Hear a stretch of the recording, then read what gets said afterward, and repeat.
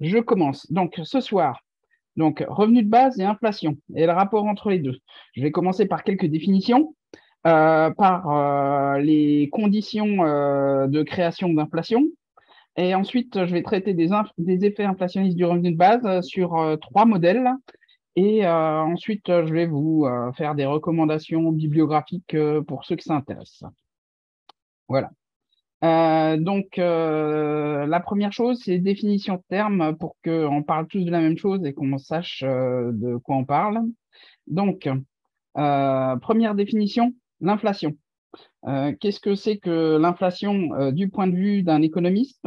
C'est l'augmentation durable du niveau général des prix à qualité constante. Et donc, le durable et le à qualité constante sont importants euh, et euh, ne sont pas forcément intuitifs, c'est-à-dire que durable, c'est pas s'il y a juste euh, les prix qui ont varié du jour au lendemain et qui reviennent à la case à la case départ deux jours après. sur la qualité constante, c'est super important. c'est-à-dire que c'est ce qui va différencier la variation de l'inflation de la variation du coût de la vie, dans le sens où euh, vous avez euh, tous un certain nombre de choses que vous achetez euh, du jour au lendemain. On peut, vous avez une idée de leur prix, mais en fait leur qualité augmente au cours du temps. Typiquement, les ordinateurs. vous achetez, vous avez sans doute tous acheté un ordinateur, sinon vous ne seriez pas en train de me suivre sur Zoom. et vous avez sans doute entendu parler de la loi de Moore qui dit que les ordinateurs doublent de puissance tous les 18 mois. Qu'est-ce que ça veut dire ça? Ça veut dire que du point de vue d'un économiste, euh, les ordinateurs doublent de qualité tous les 18 mois. Euh, et ça veut dire que euh, si aujourd'hui vous achetez un ordinateur 1000 euros alors qu'il y a 18 mois vous achetez aussi un ordinateur 1000 euros, vous avez toujours dépensé le même prix. Mais pour l'économiste, il a doublé de valeur. Et donc, ça veut dire que pour lui, le prix des ordinateurs a été divisé par deux. Euh, seulement voilà, l'ordinateur d'il y a 18 mois, vous ne pouvez pas l'acheter dans le commerce. Vous êtes obligé d'acheter un ordinateur de qualité deux fois supérieure, du point de vue d'un économiste. Euh, peu importe que celui d'il y a 18 mois vous satisfaisait pleinement ou pas. Euh, et donc, c'est ce qui fait que les prix à la consommation, en fait, augmentent beaucoup plus vite que l'inflation. Alors là, je donne l'exemple extrême des ordinateurs, mais c'est pour des tas d'autres choses vous avez euh, un contrat d'assurance. Euh, la loi, euh, au cours du temps, met plus d'obligations sur le dos des assureurs. Et les contrats d'assurance, le minimum légal de tout ce qui inclut une tout pour une habitation ou pour la voiture ou autre augmente. et donc, même si le, même si vous continuez à payer la même chose, la qualité a augmenté. Et donc, l'économiste vous dira que euh, le coût de l'assurance a baissé, alors que vous payez toujours pareil. Euh, est-ce que je peux poser une question déjà? Oui, vas-y, c'est ce que j'ai dit. N'hésitez pas à m'interrompre. D'accord. Je, me demandais du coup, est-ce que l'augmentation du coût de la vie est suivie indépendamment du coût de l'inflation? Voilà. Alors justement, euh, oui, c'est suivi par euh, certains, organismes, mais euh, je vous mets bien le doigt là-dessus parce que vraiment, quand l'INSEE affiche les, ces mesures d'inflation année après année, c'est pour ça qu'il y, y, a en fait un, un hiatus croissant. L'INSEE annonce toujours des inflations relativement faible, bien que ces dernières années, euh, enfin cette dernière année là, euh, ils annoncent des chiffres plus gros, mais les consommateurs ont toujours l'impression qu'en fait euh, les prix ont augmenté bien plus que ce qu'on leur dit. Et c'est essentiellement à cause de l'effet que je viens de vous dire à l'instant. et il y a un autre effet qui rentre là-dedans, c'est, je vais y venir tout de suite avec ma deuxième fiche. Je vais juste vérifier que j'ai bien dit tout ce que je voulais dire. donc, les biens et services réels évoluent au cours du temps, ça c'est ce que j'ai dit. Euh, donc, euh, et tout ça, c'est ce que je viens de dire, ça fait que c'est très très difficile de quantifier l'inflation aussi, parce qu'on peut toujours mettre dans un panier, euh, ce que l'INSEE appelle le panier de la ménagère, un certain nombre de produits, en regardant leur prix en regardant l'évolution des prix. Mais en fait, les produits sont jamais identiques d'une année sur l'autre. Même votre baguette de pain, euh, est-ce que c'est vraiment le même pain aujourd'hui, euh, une baguette de pain, que euh, le pain qui pouvait être acheté il y a 50 ans? La farine n'était pas la même, et les outils utilisés pour la produire n'étaient pas, les mêmes, et ainsi de suite. Il y, a, il y a vraiment très peu de produits qui sont vraiment identiques. voilà. Donc, j'en venais aussi et je vais venir à l'indice des prix tout de suite après pour répondre à ta question. Donc, il y a aussi le fait que dans le panier d'inflation, enfin dans le panier de la ménagère, comme ils disent, euh, il n'y a pas tous les biens et services, c'est-à-dire que euh, tout ce qui est euh, considéré par les économistes comme bien d'investissement ne rentre pas dedans. Et typiquement, le logement, c'est considéré comme un bien d'investissement. c'est subjectif, bien sûr, puisque le logement, c'est inconsommable. Quand vous vivez dedans, vous l'utilisez. Euh, et puis, euh, si vous l'entretenez pas, il se dégrade. Il faut de temps en temps refaire la peinture, il faut de temps en temps euh, changer le papier peint, refaire la plomberie, un certain nombre de choses. Donc, c'est réellement un produit d'usure et inconsommable. Mais pour un économiste, c'est un bien d'investissement, c'est quelque chose qu'on achète, qui fait de la valeur comme ce qu'on peut avoir sur son compte en banque, qu'on peut revendre potentiellement plus cher qu'on l'a acheté. et donc, eux ne comptent pas le logement dans la consommation. Et pourtant, euh, vous le savez tous, les prix du logement augmentent plus vite que l'inflation. Euh, donc ça aussi, ça fait un renchérissement du coût de la vie qui dépasse largement ce qui est annoncé par l'INSEE. Donc, le loyer est quand même compris, par contre, dans l'inflation. Non, pas du tout. Euh, loyer. Oui, et ça devrait. Hein. C'est contre-intuitif. Euh, on pourrait se dire, le, le loyer, c'est vraiment une consommation, c'est un fonds perdu, c'est pas un investissement qu'on fait. Euh, mais euh, une fois qu'ils ont décidé de, ranger euh, logement dans investissement, bah, ils ont tout mis dedans. Voilà. et ça, ça, ça donne. Donc, j'en viens à l'indice des prix à la consommation. donc ça, c'est justement le proxy qu'utilise l'INSEE pour estimer l'inflation. Donc, qu'est-ce que j'entends par là? Grosso modo, comme je l'ai dit, euh, en fait, les biens qui sont consommés euh, par nous aujourd'hui ne sont pas ceux qui ont été consommés euh, par les générations précédentes, il y a 50 ou il y a 100 ans. aujourd'hui, on achète des ordinateurs, des téléphones portables, on part en vacances en prenant des billets d'avion. il y a 50 ans, bah, les téléphones portables, ça n'existait pas. Les gens qui prenaient l'avion pour partir en vacances, c'était rare. enfin bon, il y a énormément de choses qui ont changé. Euh, et donc, euh, ils sont obligés de réévaluer sans arrêt les paniers. Et ça, ça pose euh, systématiquement. Si je me souviens bien, quand j'avais regardé, ils en sont déjà à la huitième version du panier de la ménagère depuis qu'ils ont commencé à étalonner les prix. et donc, on compare des choses qui ne sont jamais vraiment comparables. mais toujours est-il que ça a une valeur indicative pour un certain nombre de choses et ça a une valeur légale. C'est-à-dire que l'IPC, indice des prix à la consommation, c'est-à-dire ce qu'on appelle souvent le panier de ménagère de l'INSEE, euh, sert par exemple à indexer le SMIC. Alors, dans ce panier, il y a normalement euh, le tabac et les cigarettes. Euh, mais par contre, pour indexer le SMIC, ils ne tiennent pas compte du tabac et des, enfin, du tabac. et donc, ça, c'est un choix arbitraire. Et d'une façon ou d'une autre, l'inflation, c'est juste quelque chose euh, qui est très difficile à mesurer. Euh, on se rend bien compte que ça existe, mais pour en avoir une mesure fiable, euh, on est toujours obligé d'avoir un estimateur qui sera plus ou moins bon. celui de l'INSEE a ses défauts, d'autres auront d'autres défauts. voilà. Et il n'y a pas de publication officielle de ce que tu demandais, Chantal, c'est-à-dire l'évolution du, coût de la vie. En tout cas, j'en ai cherché et j'en ai pas trouvé. Euh, donc il y a des économistes par-ci par-là qui font leurs propres recherches et qui essayent d'avoir des choses, mais euh, je n'ai pas trouvé euh, d'indice de, référence officiel. Voilà. Ensuite, il y a une dernière chose, c'est le pouvoir d'achat.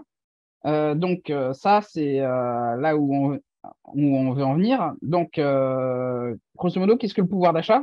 Bah, C'est tout simplement bah, ce qu'une personne peut acheter avec la monnaie dont elle dispose. et donc ça, ça varie avec la monnaie dont on dispose et pas tant avec l'inflation. Enfin, pour un économiste, ça varie avec l'inflation, c'est-à-dire que plus il y a de l'inflation, moins on a de pouvoir d'achat. Et pour une personne normale, comme je vous ai dit, il y, a, un écart très important. Euh, et en fait, euh, c'est le coût de tout ce qu'on est euh, censé acheter pour vivre, parce que à un moment, si je sais pas, moi, les carottes, elles sont deux fois plus chères parce qu'en en fait, elles sont deux fois mieux. L'économiste dira qu'on est plus riche parce qu'on a des carottes deux fois mieux. Mais il faut quand même qu'on mange la même quantité de carottes pour vivre, donc nos dépenses ont augmenté. Vous pouvez faire ça avec tout ce que vous voulez, les betteraves, le fromage, le pain, c'est le même problème. voilà. Euh, et donc, euh, à l'échelle euh, de la société, l'essentiel pouvoir d'achat, en plus, n'est que virtuel hein. et ne peut pas être converti en pouvoir d'achat réel. Pourquoi? Parce que il y a de l'épargne. Et cette épargne fait que les plus pauvres en ont pas beaucoup, il y en a des très riches qui en ont beaucoup. Et si on regarde, en fait, l'essentiel du patrimoine est détenu par des gens qui épargnent, euh, puisque on le dit souvent, euh, les 20% les plus riches ont autant que les 50% les plus pauvres. Et euh, ce qu'ont les 20% les plus riches, ben, ils dépensent pas tout. Et si du jour au lendemain, ils se décidaient de tout dilapider et de tout dépenser, on se rendrait compte tout d'un coup qu'il n'y a pas assez de choses à acheter avec tout l'argent qu'ils ont. Et là, on se rendrait compte qu'en fait, ce pouvoir d'achat virtuel qu'ils ont en stock, n'est pas réellement utilisable dans le sens où euh, on ne peut pas réellement acheter des choses avec, euh, avec tout ce pouvoir d'achat parce qu'il n'y a pas assez de choses à acheter. Et du coup, c'est pas pas tout à fait du vrai pouvoir d'achat. Et ça, on va y venir après. Je vais euh, donner des chiffres. Enfin, je vais je vais montrer ça avec des tableaux d'exemples. et donc ça, c'est aussi assez important. Et n'hésitez pas à m'arrêter si je dis des choses que vous comprenez pas. Hein. sinon, je continue. Bon. Et ensuite, bah, je vais vous donner quand même la définition du revenu de base, parce que c'est un petit peu pour ça qu'on est là dans notre association. Euh, donc, le revenu de base est un droit inaliénable, inconditionnel, cumulable avec d'autres revenus distribués par une communauté politique à tous ses membres, de la naissance à la mort sur base individuelle, sans contrôle de ressources ni exigence de contrepartie, dont le montant et les financements sont ajustés démocratiquement. Pourquoi j'ai mis des choses en bleu? Parce que c'est les parties de la définition qui vont nous intéresser aujourd'hui. Euh, donc, euh, dans le fait de, parce qu'on reproche souvent aux revenus de base d'être potentiellement inflationnistes, euh, et donc il va falloir voir en quoi et comment. Et ces effets inflationnistes viennent du fait que ben on donne de l'argent, un montant unique à chacun et à tout le monde, et que c'est une forme de monnaie hélicoptère, comme le disait Keynes. Et donc, c'est ça les éléments du revenu de base qui vont euh, potentiellement ou pas, on va voir ça, euh, causer de l'inflation et ce qui va avoir euh, des conséquences néfastes ou pas. Ça aussi, il va falloir le voir. donc, première chose, les conditions de l'inflation. donc, dans quelles conditions se crée ou ne se crée pas de l'inflation et pourquoi? Alors, une inflation, ou une déflation d'ailleurs, ça, ça peut aller dans les deux sens, est toujours un déséquilibre entre un besoin et une disponibilité de monnaie des gens. Euh, qu'est-ce que je veux dire par là? En fait, qu'est-ce que c'est que euh, l'inflation? C'est la variation du prix de la monnaie exprimée dans autre chose. On peut dire que, par exemple, le pain coûte deux fois plus cher, ou alors on peut dire que le pain a toujours la même valeur, c'est la monnaie qui vaut deux fois moins cher. c'est blanc bonnet et bonnet blanc. Euh, et en fait, qu'est-ce qui fait la valeur de la monnaie? C'est le fait que euh, les gens en veuillent et en aient besoin et que ce soit difficilement disponible. Donc là, il y a quelque chose que je vous ai mis en rouge parce que je veux absolument débunker ça. Euh, il y a une idée reçue qui est que tout ce qui est rare est cher. Et c'est pas vrai du tout. et déjà, Aristote nous le faisait savoir quand il a fait son traité sur les syllogismes, en présentant le syllogisme suivant tout ce qui est rare est cher un cheval bon marché est rare, donc un cheval bon marché est cher. On voit bien que la conclusion est absurde. Et en fait, euh, elle est absurde parce que le premier prémisse, euh, le prémisse majeur est absurde aussi. Euh, il y a des choses qui sont rares et chères, et il y a des choses qui sont rares et pas chères du tout. parce que si personne n'en veut, ça ne vaut rien. je donne un exemple. vous avez une usine de clous qui fait des millions de clous par jour, ça sort à la chaîne. Euh, temps en temps, il y a un clou foutu, euh, tordu ou euh, mal fichu qui sort de l'usine. ils sont extrêmement rares parmi les millions de clous qui sortent tous les jours. Et pourtant, ils valent pas plus que les autres, voire même beaucoup moins. J'ai cru entendre quelqu'un parler? Non? Bon, dans ce cas-là, je continue. en fait, la valeur d'une chose augmente avec sa désirabilité et diminue avec sa disponibilité. Évidemment, si quelque chose est hautement désirable et qu'on en trouve partout, ça vaut rien. Par exemple, l'air qu'on respire, c'est extrêmement désirable. Personne ne peut s'en passer, mais plus de quelques secondes, voire minutes pour les meilleurs, pour les plus, les meilleurs en apnée d'entre nous. Euh, et euh, si on en était privé, on serait prêt à le payer tout l'heure du monde. Mais en fait, euh, c'est gratuit parce qu'il y en a partout. Donc, tout ce qui, est important au premier ordre, c'est que ce soit désirable et que les gens en veuillent. Et qu'est-ce qui fait qu'on veut de la monnaie? C'est qu'on est obligé d'en avoir. On n'est pas tellement obligé d'en avoir pour se procurer des choses, parce que ça, on peut toujours l'échanger contre d'autres choses qu'on possède. Euh, il y a une seule chose qui fait que euh, on est obligé de se procurer de la monnaie, c'est qu'on est soumis, on est tous soumis à l'impôt, que ce soit direct ou indirect.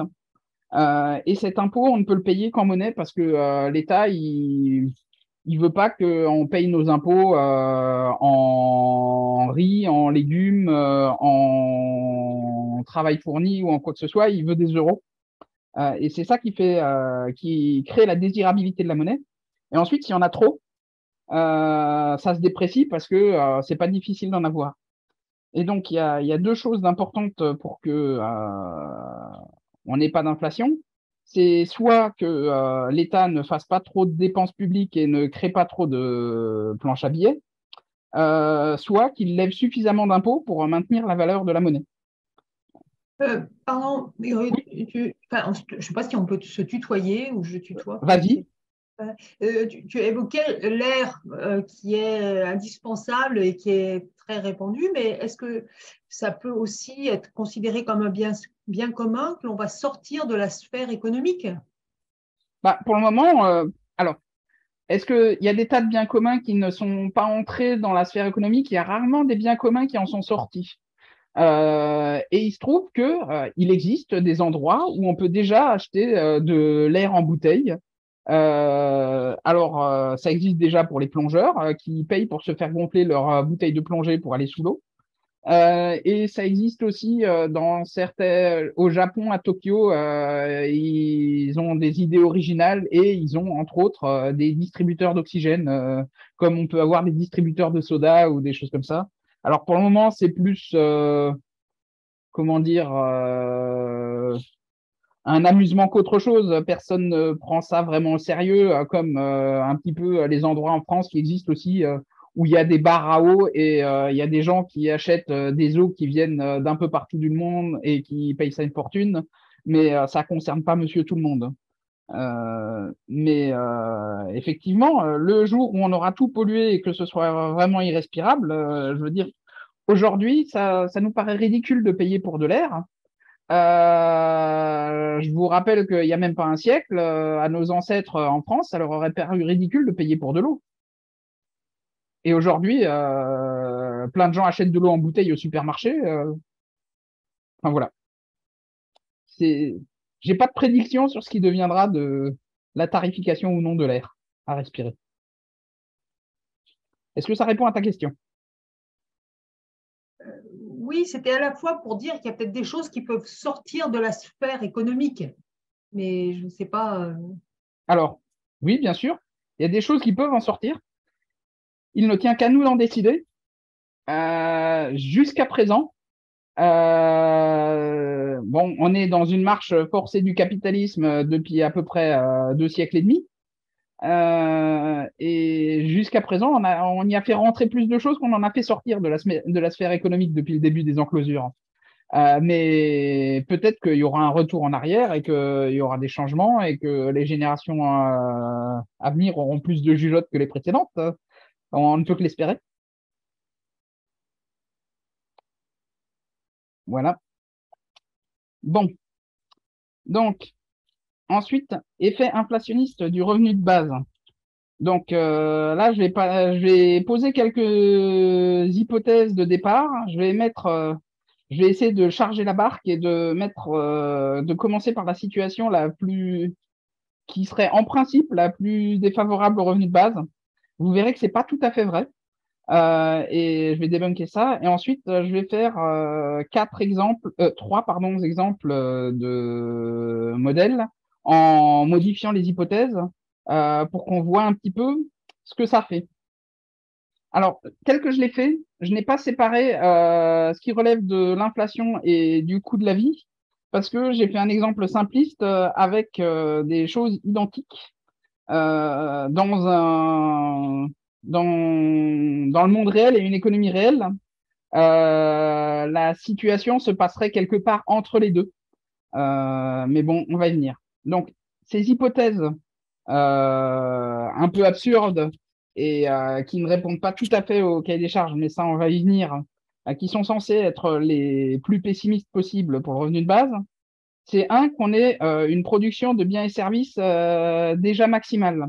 C'est-à-dire que euh, si euh, on injecte plus de monnaie et qu'on solvabilise plus de demandes, euh, l'industrie peut pas se mettre à produire plus pour compenser et rattraper. Donc, si on se retrouvera avec plus de monnaie pour la même quantité de choses à acheter, et ça, ça devrait faire de l'inflation en théorie.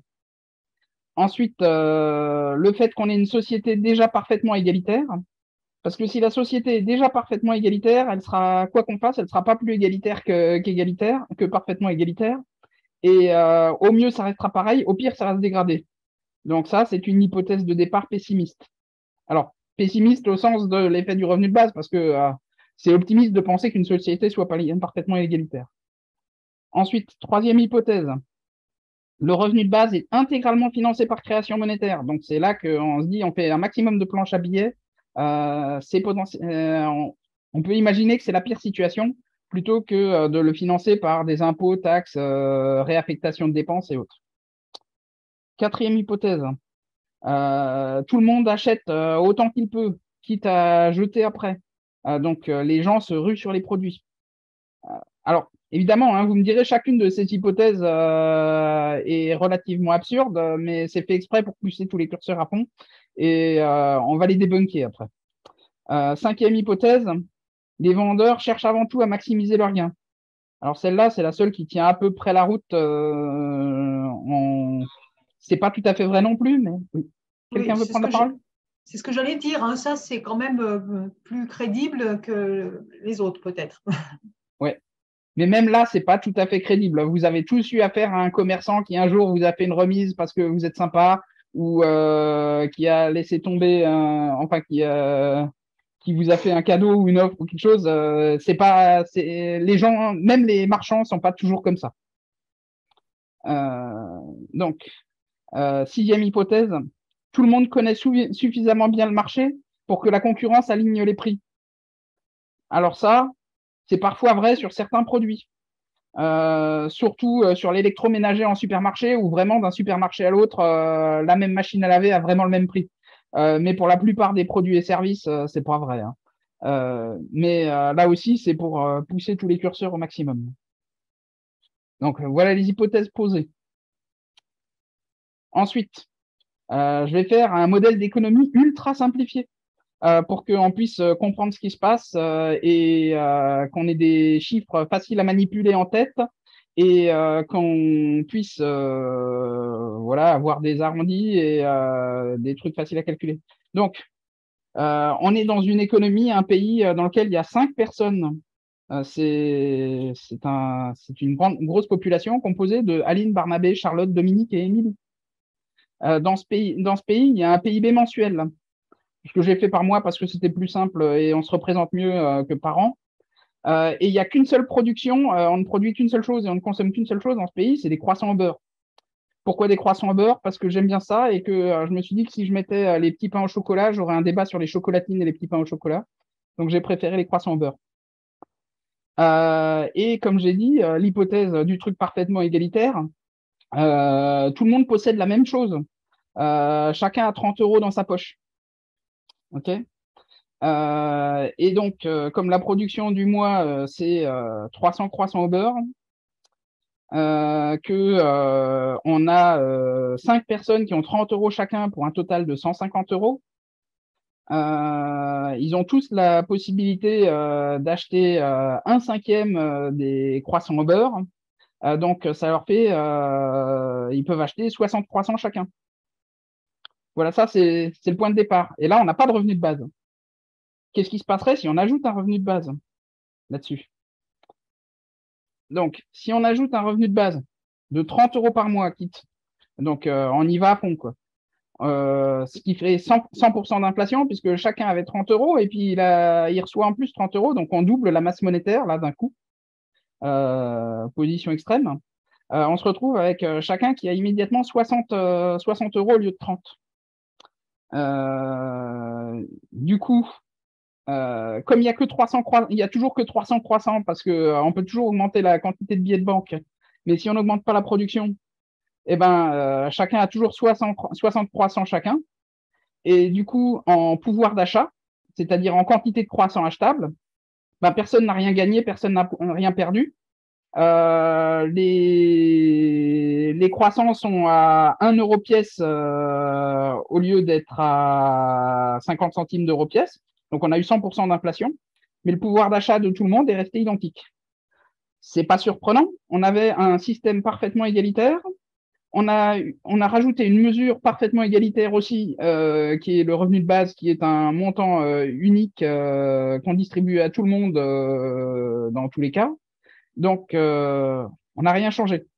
J'ai fait cet exemple juste pour. Pardon? Oui? Pardon, ce que je suis pas sûre de bien comprendre, c'est que, imaginons que je sois à Lille, moi, deux croissants par jour, là, ça me fait beaucoup. Hein. Je suis pas sûre que je vais acheter autant de croissants. Donc, si les besoins baissent et qu'on achète moins de croissants, oui. est-ce que ça dépasse nos besoins? Qu'est-ce qui se passe? Tout à fait. Euh, je vais y venir euh, dans les diapos suivantes. parce que là, j'avais fait comme hypothèse tout au début, tout le monde achète autant de croissants qu'il peut quitte à jeter après. C'est-à-dire que si toi, tu manges qu'un seul croissant par jour, bah, tu en achètes quand même deux, mais tu jettes le deuxième avec l'hypothèse à la con que j'ai donnée au début. Mais évidemment, on va se débarrasser de cette hypothèse. Voilà. Donc ça, c'était juste euh, le, truc, euh, juste dans le, dans le pire cas, enfin, dans le cas le plus défavorable au revenu de base, on se rend compte que ça change juste rien. Euh, donc, c'est une façon de dire, euh, pour moi, au pire, le revenu de base, au pire du pire, le revenu de base, ça fait pas de dégâts. Ça augmente le patrimoine du boulanger qui vend ses croissants, euh, ses pains, euh, oui, ses croissants euh, deux fois plus cher. Alors, oui et non. C'est-à-dire qu'effectivement, là, j'ai pas, comme dit, j'ai un modèle simplifié. ce qu'on ne voit pas là-dedans, parce que là, on voit du point de vue des clients, mais dans cette population, il y a deux solutions. Soit le boulanger, c'est un étranger on achète tout à l'étranger, ce qui n'est pas une solution parce que ça fait une balance commerciale déplorable. Soit le ou les boulangers euh, sont dans le lot, là, parmi Aline, Barnabé, Charlotte, Dominique et Émilie.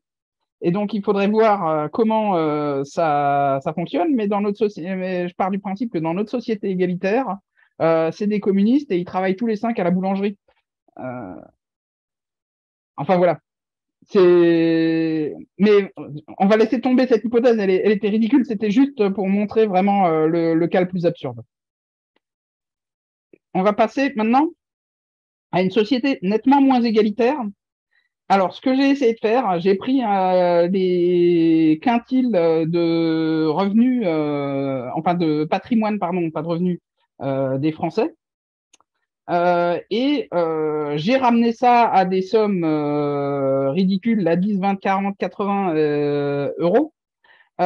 mais à 15% près, ça représente les écarts entre les quintiles réels des Français, c'est-à-dire que le premier quintile n'a vraiment quasiment rien et a autant de dettes que de patrimoine et le bilan c'est proche de zéro. Euh, le troisième quintile a réellement à peu près deux fois plus que le premier.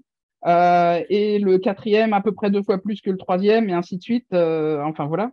J'ai essayé de faire quelque chose avec des chiffres faciles à manipuler qui représentent les écarts relatifs des patrimoines en France entre les plus riches et les plus pauvres.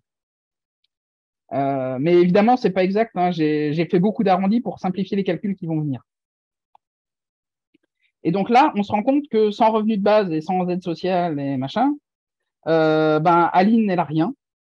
Et euh, ce mois-ci, euh, bah, elle risque de mourir de faim. Barnabé, lui avec 10 euros, il peut s'acheter 20 croissants. Charlotte 40, Dominique 80 et Émilie 160. On a toujours un total de 300 croissants. Et va commencer rapidement à se poser la question de si Émilie va pas faire une crise de foie. et donc, qu'est-ce qui se passe si on rajoute un revenu de base là-dessus? Là, on se retrouve toujours, je, rajoute toujours 30 euros, donc je double toujours le, la masse monétaire en circulation dans le pays. Et là, on voit tout de suite les variations que ça fait. Euh, c'est-à-dire que euh, on se retrouve avec euh, Aline qui passe de 0 à 30 euros, Barnabé de 10 à 40, Charlotte de 20 à 30, non, de 20 à 50, et ainsi de suite. Euh, et tout le monde gagne 30 euros de plus. Par contre, les écarts relatifs euh, sont en faveur d'Aline et euh, en défaveur d'Emilie. Qu'est-ce que ça veut dire? Ça veut dire que, grosso modo, maintenant, Aline peut s'acheter 30 croissants, Barnabé 40, Charlotte 50, Dominique 70 et Émilie 110. Et ce qu'on voit, c'est que par rapport au tableau d'avant, euh, là, on voit ce qu'il pouvait acheter avant et maintenant. On voit que euh, pour euh, Aline, ça fait un bonus de plus 30, pour Barnabé, plus 20, et ainsi de suite. Et donc, plus on est pauvre, plus on est gagnant à la mesure. Et plus on est riche, plus on est perdant.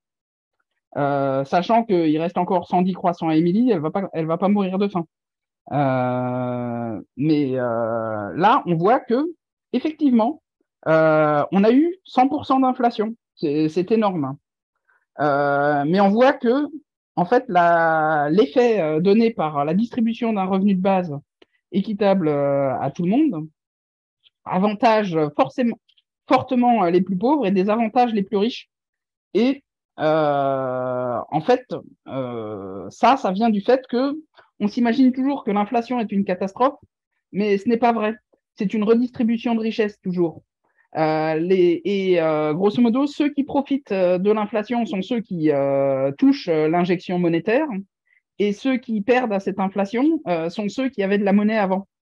et donc, en général, l'inflation est le plus souvent préjudiciable aux pauvres, parce qu'en général, l'inflation se fait dans la sphère financière, c'est-à-dire que ce sont les rachats de créances par les banques centrales en actions dévaluées euh, qui fait euh, ce qu'ils appellent le quantitative easing et la, plus grosse part de l'injection de monnaie. Euh, ce qui fait que bah forcément, si on crée de l'inflation en distribuant de l'argent aux riches, ça profite aux riches. si par contre on crée de l'inflation en distribuant de l'argent à tout le monde, ça profite aux pauvres. et donc là, j'en viens à l'idée que effectivement, ça crée de l'inflation, ça va augmenter les prix, euh, mais ça n'en créera pas autant que ce que vont gagner euh, les pauvres en pouvoir d'achat. Évidemment, là, on est encore dans un modèle simpliste. Euh, parce que il manque une chose importante, c'est l'épargne. Donc maintenant, on va arriver à ce qui se passe quand les riches vont commencer à épargner. Et ce que tu te posais comme question, Chantal, du fait que deux croissants par jour, ça te faisait trop. Euh, donc euh, là, euh, on peut on peut réfléchir à un certain nombre de choses. Donc là, je change des hypothèses. Je mets première hypothèse. Émilie n'arrive plus à avaler 110 croissants par jour. elle commence à en être malade et à partir de 84, elle cale. donc Aline n'a toujours rien et elle est toujours en train de mourir de faim. Et pour les autres, ils vont pas jusqu'à s'en rendre malade et jusqu'à caler. Ils se disent qu'ils veulent mettre un petit peu de côté et qu'ils en, achèteront que 72 euh, dans le mois euh, et qu'ils vont, ils vont épargner un peu. il reste Barnabé qui, lui, va rien pouvoir épargner parce que comme il est tout en bas de l'échelle, c'est sur ses revenus à lui que les prix vont s'aligner. Donc, qu'est-ce qui va se passer? On va se retrouver avec une situation comme celle-ci. C'est un petit peu plus compliqué. Donc, euh, Aline, elle a toujours rien et elle mange toujours rien et il lui reste toujours rien à la fin. Euh, sa situation n'a pas changé. Euh, Émilie, par contre, de l'autre côté, elle, elle achète que 84 croissants. Euh, il va lui rester 68 euros sur les bras qu'elle va économiser pour plus tard. on va avoir Dominique et lui et Charlotte qui vont en manger que 72 et qui vont économiser un peu. Barnabé va rien pouvoir économiser tout simplement parce que les boulangers vont augmenter les prix jusqu'à ce que lui, il ait tout dépensé. et on va se retrouver donc sans revenu de base avec la situation suivante. et là, on voit un truc, une énormité dont je parlais tout à l'heure, la différence, le fait que le pouvoir d'achat est virtuel. parce que dans cette situation, on se retrouve avec le paquet de 72 croissants pour 10 euros. Euh, et euh, ça, ça veut dire que euh, Charlotte, avec 10 euros de plus, elle pourrait s'acheter en tout, mais elle les achète pas tous, 144 croissants. Dominique, avec ses 30 euros de plus, il pourrait en acheter en tout 288, et ainsi de suite. Sauf que, en fait, c'est pas vrai. tout simplement parce que il y a toujours que 300 croissants qui ont été produits. Et le total de pouvoir d'achat tel qu'on le voit ici, il est à 1080 croissants. Euh, et euh, c'est ce que je disais tout à l'heure, si euh, tous les plus riches qui économisent et qui ont des stocks et des avoirs sur leur compte en banque en diverses formes de patrimoine décidaient de tout dépenser, ils ne trouveraient pas à acheter tous ceux ce, pourquoi ils ont dépensé. Et donc, ce pouvoir d'achat, il n'est virtuel parce que les 1080 croissants, ils pourront jamais être achetés. Ils n'existent pas. Et donc, si jamais euh, tout le monde se décidait à vouloir acheter, euh, la bulle exploserait euh, et on se rendrait compte du vrai prix des choses. Mais si le boulanger décidait d'en faire un produit de luxe et il, viserait euh, Émilie qui a le plus gros pouvoir d'achat, il pourrait vendre ses croissants à, 10 euros l'unité et peut-être qu'il retrouverait lui et puis bah, les autres mourraient de faim mais il aurait conservé ses, marge. Tout à fait. Euh, on, pourrait, euh, on pourrait dire ça. Euh, que Émilie dispose de 80 euros, qu'elle souhaite acheter 84 croissants à elle seule, mais elle veut pas en acheter plus. Et que du coup, on pourrait lui vendre 84 croissants pour 80 euros au lieu de les lui vendre euh, pour, euh, pour euh, du coup, ça fait combien? Ça fait 12 euros. Enfin, pas, pas tout à fait, ça fait 11,66 euros. effectivement. Sauf que le boulanger, dans ce cas-là, il récupère que 80 euros, les 80 euros d'Emilie, alors qu'il pourrait en récupérer plus euh, en vendant aussi des croissants à Dominique, Charlotte euh, et Barnabé. Euh, et surtout, Émilie, elle en veut que 84. Qu'est-ce que le boulanger fera des, des quelques 200, 216 croissants excédentaires, il va les jeter au lieu de les vendre? Il ne les fabriquera pas. C'est une possibilité, effectivement. Euh, et ça, c'est une des deux raisons pour lesquelles les hypothèses de départ que j'ai mis euh, étaient euh, pas tout à fait les pires possibles et imaginables, parce qu'il y en a une que j'ai pas faite, euh, parce que euh, ça n'arrive, ça peut arriver dans un exemple aussi petit que celui-là, mais ça n'arrive pas tout à fait en vrai. bien que ça arrivera peut-être avec l'effondrement à venir de nos civilisations, mais pour le moment, on se retrouve, on s'est pas encore retrouvé avec la production qui baisse euh, dans, dans, nos économies. Euh, mais c'est une possibilité. J'ai encore pas fait l'hypothèse euh, du, du, fait que on fasse baisser la production. Mais on aurait pu. Et ça, c'est effectivement un cas encore pire que tous ceux que j'ai imaginés là. Donc, tu as tout à fait raison. Euh, en tout cas, pour le moment, euh, s'il veut maximiser ses revenus, euh, après en avoir vendu 84 à Émilie, il a quand même intérêt à en vendre davantage aux autres. Enfin voilà. Donc, euh, j'en viens maintenant à qu'est-ce qui se passe quand on met un revenu de base là-dessus. Euh, donc, là, on se retrouve avec un nouvel équilibre c'est-à-dire que, euh, comme on voit, euh, la colonne départ, on a toujours euh, les mêmes sommes de départ pour les, pour les gens. On a toujours le revenu de base qui ajoute 30 euros à tout le monde pour un total de 30, 40, 50, 70 et 110 euros et un total de 300 euros. On a un doublement de la masse monétaire, comme d'habitude. par contre, maintenant, il y a une différence. c'est que les prix s'ajustent plus du tout pareil.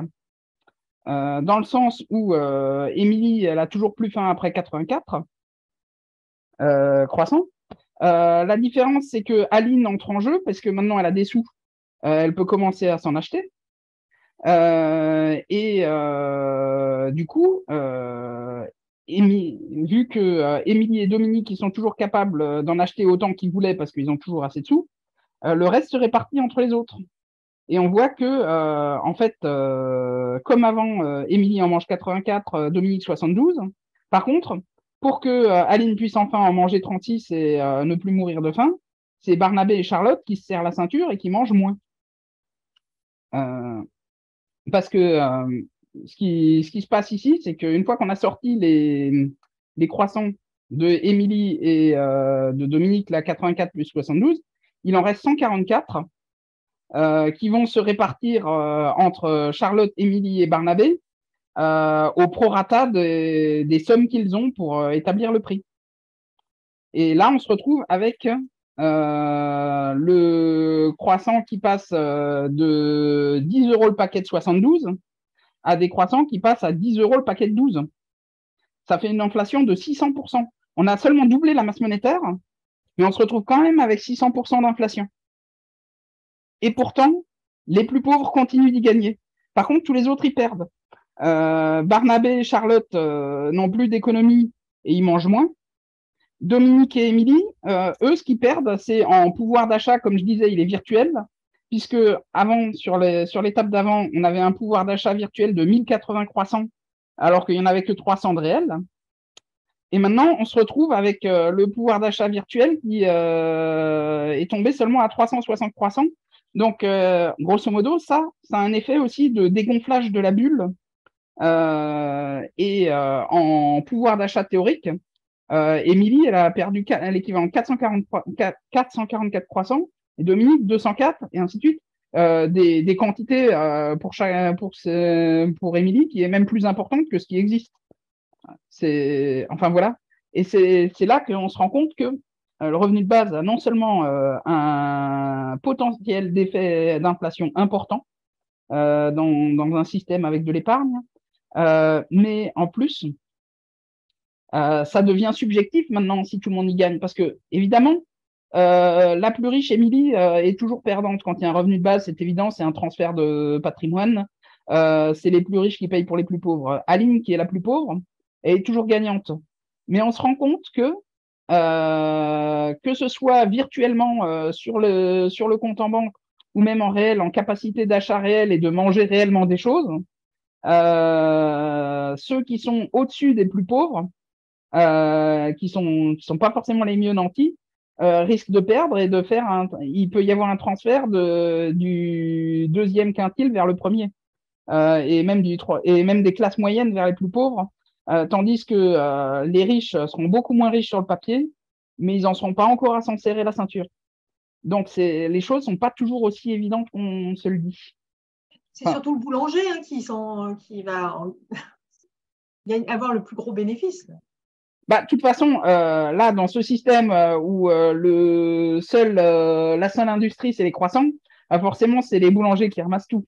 sachant que, comme dit, là, dans ce genre d'économie, avec les inégalités, la boulangerie, Aline, grosso modo, c'est la chômeuse.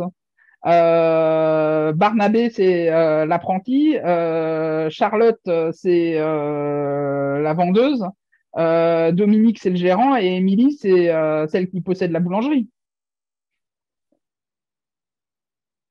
Je veux dire. pardon? Je disais OK, oui, oui. Enfin voilà, euh, évidemment, là, j'ai j'ai fait que des trucs extrêmement simplistes pour voir statistiquement, statistiquement, statiquement, quel est l'effet au moment où on fait la distribution euh, du revenu de base sur les pouvoirs d'achat des gens. Euh, évidemment, au moment où ils le dépensent, euh, tout euro dépensé est forcément touché par quelqu'un d'autre. Et donc, comment ça se répartit On peut faire l'hypothèse que si au point de départ, il y avait ces inégalités, c'est parce que les revenus de cette industrie des croissants au beurre avaient créé cette inégalité au départ. Enfin, je veux dire et que donc Aline n'est pas payée, que Barnabé un peu, Charlotte un peu plus, Dominique beaucoup, et puis Émilie ramasse les dividendes. J'ai une question à te poser, Henri. Oui, vas-y. Euh, à propos de l'inflation à 600%, du coup, euh, comme euh, ben, le croissant a augmenté de 600%, c'est quoi qui augmente en premier? C'est le croissant ou c'est les marchandises que le boulanger achète pour acheter ses croissants? Ou est-ce que c'est le matériel qu'il achète pour acheter ses croissants? Est-ce que c'est les produits que lui va acheter pour pouvoir vivre, subvenir à ses besoins, sa maison, etc. Je, je me pose la question, c'est quoi qui va augmenter en premier? Dans quelle cinématique, etc. Alors, très bonne question. Alors, évidemment, ce modèle ne le montre pas puisqu'il n'existe qu'un seul produit, mais dans un système un peu plus complexe où il existerait évidemment euh, plein d'autres produits, qu'il y a toute une chaîne et autres, euh, en général, euh, qu'est-ce qui se passe? Ce qui, effectivement, tous les prix n'augmentent pas simultanément. il y a une chaîne de propagation. et cette chaîne de propagation, elle vient en général euh, ceux qui augmentent leurs tarifs en premier sont, les, sont un, les mieux informés euh, du fait que ça va venir, et donc c'est ceux qui se réveillent le plus tôt euh, en demandant une augmentation, et deux, ceux qui ont le meilleur pouvoir de négociation, parce que c'est pas tout de se rendre compte qu'on est en train de se faire avoir, il faut réussir à négocier. Pardon, je te coupe, hein, excuse-moi, mais c'est là où je voulais revenir ben, ceux qui se réveillent en premier, entre guillemets, est-ce que ce n'est pas les, les, traders dans les bourses, euh, les personnes comme ça, les gens du financier, etc. Et deuxièmement, euh, comment dire cela euh, Qui est-ce qu'il va falloir convaincre en premier de mettre en place ce modèle économique Émilie ou les classes moyennes? Et comment on va les convaincre?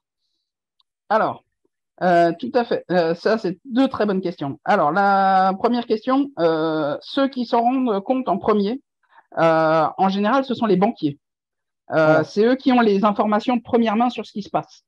Euh, et qui le voient le plus immédiatement. Et c'est eux qui ont le meilleur pouvoir de négociation, donc qui agissent immédiatement et qui ajustent leurs taux, qui sont en fait les taux d'intérêt. et c'est comme ça qu'ils font évoluer leurs prix. Euh, par contre, ils sont soumis à une forme de concurrence qui fait que euh, ils sont obligés, ils peuvent pas simplement euh, augmenter unilatéralement leur prix n'importe comment, parce que si la BNP augmente ses taux alors que le crédit d'écureuil que l'écureuil l'a pas fait ou le crédit mutuel ou la société géniale, enfin voilà, ils sont obligés de se coordonner. L'organisme qui les coordonne quelque part, c'est les banques centrales avec leur taux directeur. Et grosso modo, ça, ça veut dire que euh, quelque part, c'est c'est à la main. Euh, avant, c'était Mario Draghi. Maintenant, euh, c'est, je crois que c'est Christine Lagarde, non, qui est présidente actuellement de la Banque centrale européenne. enfin bon. Et, pardon? Je ne suis pas sûr, mais c'est pas une information très capitale par rapport à ton raisonnement. Vas-y, continue. Oui, oui, ok. et donc, grosso modo, euh, ceux qui ont le plus d'influence euh, sur euh, l'inflation ou un autre, c'est les banques centrales, par deux mécanismes. Un, le fait qu'ils imposent le taux directeur, c'est-à-dire le taux de crédit auquel ils prêtent aux banques. et les banques, quand elles prêtent aux particuliers, c'est là qu'elles forment les prix euh, elles se prennent une marge par rapport à ce taux de directeur, mais elle peut pas être trop importante parce que sinon c'est une autre banque qui va faire le. Enfin, quand vous achetez une maison, vous allez toujours voir, euh, enfin toujours. J'imagine que vous n'avez pas acheté 100 maisons dans votre vie, euh, mais la plupart des gens quand ils achètent une maison, ils vont voir deux ou trois banques pour voir laquelle leur offre le prêt le plus intéressant. Et donc, mmh. oui. Non, bon, je vais Oui, oui, ok. Euh, et donc, euh, grosso modo, il y a quand même une concurrence assez féroce entre les banques euh, pour les prêts importants.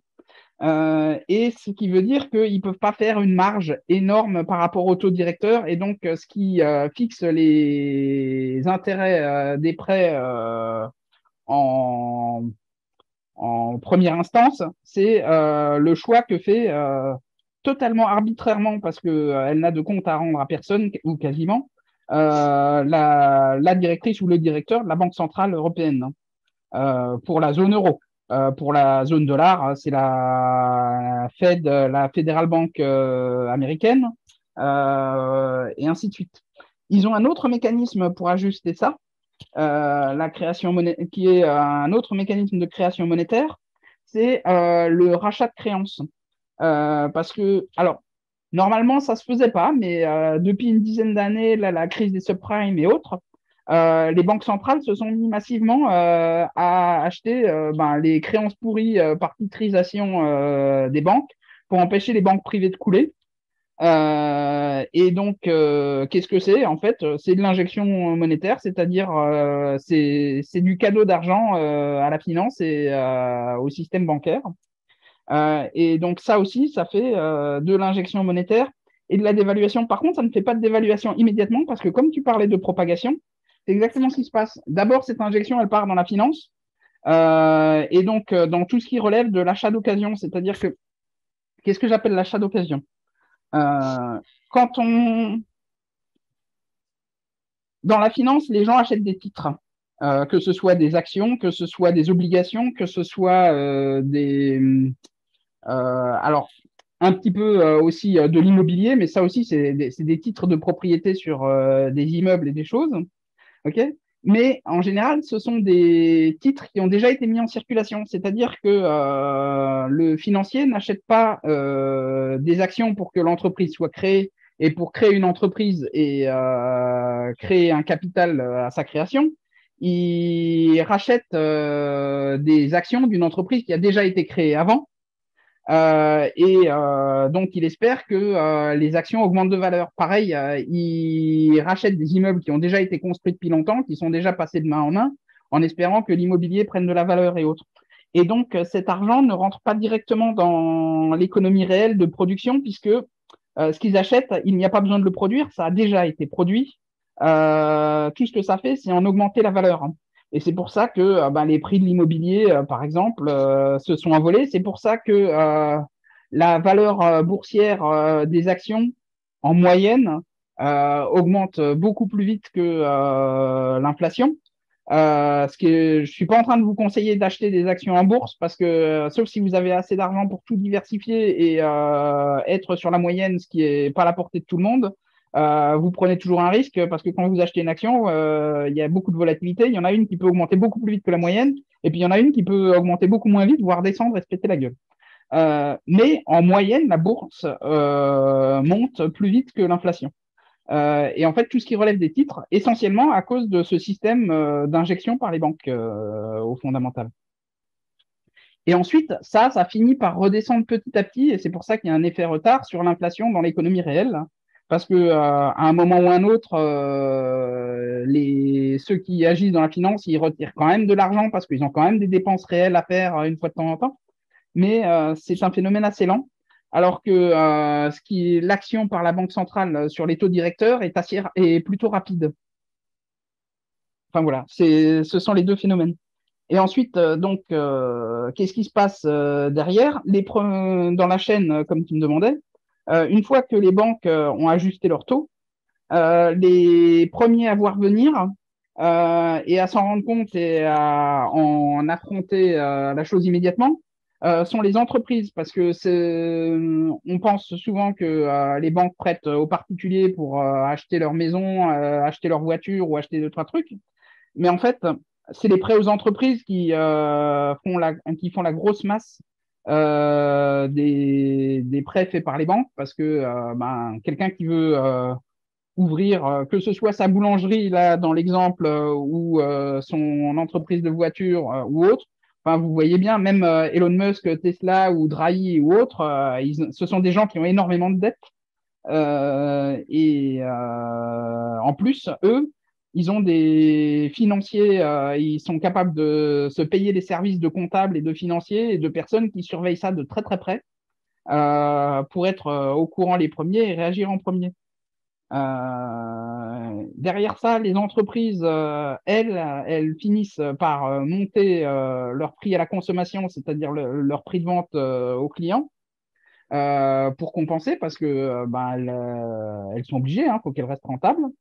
Euh, et c'est seulement à ce moment-là que euh, ça commence à se voir dans les prix au supermarché et à l'économie réelle. C'est quand euh, ben, Nestlé, Danone et autres, ils se sont rendus compte du problème à cause de leur banque et qu'ils ont répercuté sur le prix des yaourts. Et que quand vous allez acheter vos yaourts, vous commencez à vous rendre compte qu'ils commencent à être beaucoup plus chers. Et donc, euh, en général, euh, le particulier, euh, sauf celui qui est passionné de ça et qui suit la bourse en permanence et qui suit toutes ces informations, c'est un peu le dernier au courant. et avec l'effet retard, c'est souvent lui qui se fait avoir, hein, surtout depuis que la loi a changé et que les salaires ne sont plus indexés sur l'inflation comme ils l'étaient par le passé on a, vu, on a vécu ça un petit peu avec la forte euh, augmentation, la forte inflation euh, sur l'énergie. Et on hmm. a vu que ça a nécessité, comme ça s'est fait brusquement, ça a nécessité l'intervention de l'État, la mise en place de boucliers euh, divers pour amortir le, le coût. Et, que ça a coûté donc très cher à l'État, qui est aussi un, consommateur d'énergie pour lui-même, c'est-à-dire pour tous les services publics, etc. Quoi. Donc, euh, ça pourrait être le même, euh, même effet s'il y avait une inflation de 600% euh, sur les croissants ou sur l'activité. Oui, j'ai pris les croissants comme exemple. Hein. J'aurais pu prendre n'importe quoi là dans mon truc. C'était juste pour pouvoir faire des tableaux où on peut voir avec les mains un petit peu comment les choses. Non, ce que je veux dire, ce que, je voulais dire, c'est que du coup, cette inflation, imaginons qu'elle soit de 600%, ça mm. justifierait peut-être la mise en place d'intervention de l'État et, pour amortir. Voilà. Et, euh, euh, et l'État, c'est l'État qui s'endette dans ces cas-là. Alors, c'est l'État qui s'endette euh, d'une certaine façon. C'est-à-dire que quand tu dis l'État consomme de l'énergie pour son propre compte et un certain nombre de choses pour son propre compte, en fait, quelque part, non. L'État, c'est pas pas une personne, c'est pas un individu, c'est pas pas une entité qui a des besoins par lui-même. Euh, ses besoins, c'est de rendre service à ses citoyens. Euh, donc tout ce qu'il fait, de toute façon, c'est pour le compte de ses citoyens. Euh, sauf, pardon? Pardon, si je peux me permettre, Henri. au vu du fait que nous vivons dans un système néolibéral, donc qui est basé sur le libéralisme, donc bon, qui est une comment dire cela, une doctrine politique basée sur une philosophie politique qu'il faudrait peut-être, on n'a pas le temps de creuser là, et puis c'est pas le sujet, Hum, donc, euh, l'État a une même mise moins forte que dans un système, par exemple, communiste. Euh, ce qu'on peut peut-être euh, observer, ou à tout le moins raisonner actuellement par rapport à ça, c'est que l'État, ayant, ayant choisi à la base, donc dans le système capitaliste et libéraliste et aujourd'hui néolibéraliste, d'avoir de moins en moins de même mise sur euh, le marché, euh, sur l'inflation et, toutes ces, choses de l'économie. Euh, est-ce qui, je le disais, peut-être c'est une spéculation, ça peut devenir un raisonnement. Est-ce qu'il n'est pas en train de perdre le contrôle justement de tout ce qui est économie, création de monnaie, inflation, etc., au profit des particuliers? D'où la question que je t'ai posée à la base. Mettre le système en place, mettre le, mettre le système du revenu de base en place, oui, mais euh, qui, on vit ensemble, on vit tous ensemble sur la même planète, qui va qui va-t-il falloir aller voir en premier, les riches ou les classes moyennes? Déjà, mm, faire les choses par étapes et dans l'ordre. Comment, si c'est les riches en premier, comment on va les convaincre de ça Si c'est les classes moyennes qu'il va, falloir, aller voir en premier, comment on va les convaincre de ça Si c'est les domaines, je ne sais pas. Et d'une autre façon, la question que je posais sur le chat, euh, qui va se poser quand on va tous se mettre ensemble, sur, peut-être sur un agora, je l'espère un jour, les riches, les pauvres, etc. Qui produit quoi Pour qui Et selon quelle légitimité? Mmh. Qui est la base de toute philosophie politique et de toute philosophie économique Alors, tu poses toutes les bonnes questions. Je ne prétends pas avoir toutes les bonnes réponses. Euh, par contre, euh, quand je disais euh, l'État n'agit pas pour son, propre compte et pour le compte de ses citoyens, évidemment, l'État, en fonction du système politique, qu'il soit néolibéral, qu'il soit communiste ou n'importe quoi entre les deux, ou même une troisième voie, à un moment, il fait des choix sur, quand je dis ses citoyens, lesquels de ses citoyens. Et dans un État néolibéral, comme tu dis, euh, on a l'impression souvent que euh, l'État, il fait, euh, il agit pour le compte de ses citoyens, mais les citoyens qu'il a choisis, c'est-à-dire particulièrement Monsieur Drahi, Bernard Arnault et d'autres comme eux. Et comme le dit Macron, ceux qui ne sont rien, ben, ne comptent pas. c'est pas pour eux qu'il agit. mais derrière ça, euh, tout ce que je voulais dire par là, c'est que euh, l'État pour lui-même, euh, ça ne lui sert à, rien à l'entité État d'avoir de l'or, euh, d'avoir de quoi se chauffer ou autre, euh, ou d'avoir des croissants. C'est aux gens qui le composent que c'est utile d'avoir des croissants à manger. voilà. Mais la répartition est c'est une question de rapport de force. ensuite, qui est-ce qu'il faut convaincre en premier? Euh, et ben ça, c'est tout le drame. Euh, c'est-à-dire que a priori, euh, dans notre système néolibéral, comme tu dis, c'est surtout là sur notre tableau, Émilie qui a du pouvoir. et comme tu le vois sur le tableau, c'est elle qui a tout à y perdre sur son prestige et sa capacité et son pouvoir sur les autres. Euh, parce que, comme tu le vois, en pouvoir d'achat, euh, elle perd 444 croissants, c'est-à-dire elle perd plus de pouvoir d'achat que ce qui existe à acheter. Euh, elle, ça l'intéresse pas. Euh, et puis ensuite, euh, et en, en, dehors du pouvoir d'achat, de toute façon, avant ou après, elle a toujours ce qu'il lui faut pour manger. elle a rien y gagné. Et malheureusement, on voit que même Barnabé, il y perd. Euh, et il est, il est même pas dans la classe moyenne, il est dans la classe moyenne inférieure. Euh, et avec le revenu de base, il se retrouve obligé de partager avec Aline. Euh, et euh, du coup, il sera difficile à convaincre aussi. Et puis Aline, euh, elle fait partie des chômeurs et précaires. Euh, elle fait partie essentiellement des gens qui votent pas en général. et du coup, c'est pas très très simple. La question, c'est euh, de savoir qu'est-ce qu'on peut apporter de plus que euh, simplement des croissants euh, dans cet exemple, ou en tout cas de la richesse économique. Est-ce qu'on peut y apporter une société avec moins de tension, plus vivable, Aline qui va pas commencer à s'attaquer aux gens pour avoir à manger, à voler ou autre chose euh, est-ce que, enfin, qu'est-ce qu'il y a d'autre à y gagner? Est-ce qu'il y a un sentiment de justice euh, qu'on peut insuffler à grande échelle parmi les citoyens en se disant, euh, franchement, bon, on meurt quand même pas de faim en France, ce serait, ce serait quand même bien que on ait un peu de justice sociale et qu'on partage et qu'on soit sympa entre nous. Mais vraiment, le problème n'est pas facile. Et si c'était facile, en fait, on aurait déjà solutionné et on aurait déjà le revenu de base. donc, oui, vas-y. Non, je dis certes. Voilà.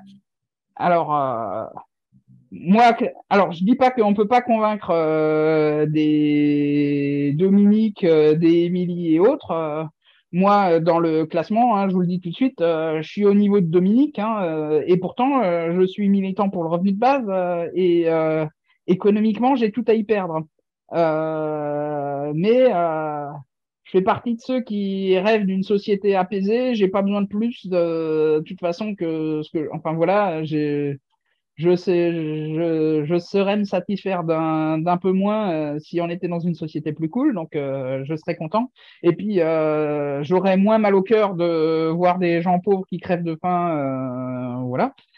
mais donc, il y a, des classes moyennes, aisées et supérieures qu'on peut convaincre. Mais est-ce qu'on peut les convaincre dans leur ensemble? Je ne sais pas. Euh, on peut être optimiste, mais quand on voit le pourcentage de gens qui sont euh, en faveur de, la, conditionnalité du RSA, euh, déjà, ça paraît quand même pas acquis, hein, malheureusement. Oui, oui. Mais quand je dis, même des gens comme Émilie peuvent être convaincus. je, peux citer Warren Buffett, euh, qui était euh, aussi l'un des hommes les plus riches du monde euh, et qui disait tel quel, il y a une lutte des, il y a une lutte des classes ou une guerre des classes, je ne sais plus ce qu'il avait dit exactement, et c'est notre classe qui est en train de la gagner. et on pourrait payer largement plus d'impôts, ça nous ferait pas de mal. Donc, il y a, des gens, même parmi les très riches, qui se rendent compte que ça va pas du tout et qui, qui seraient prêts à changer là-dedans. et en plus, ils ont du pouvoir. Malheureusement, ceux qui sont prêts à dire ça, ils sont pas encore, ils sont pas encore la majorité.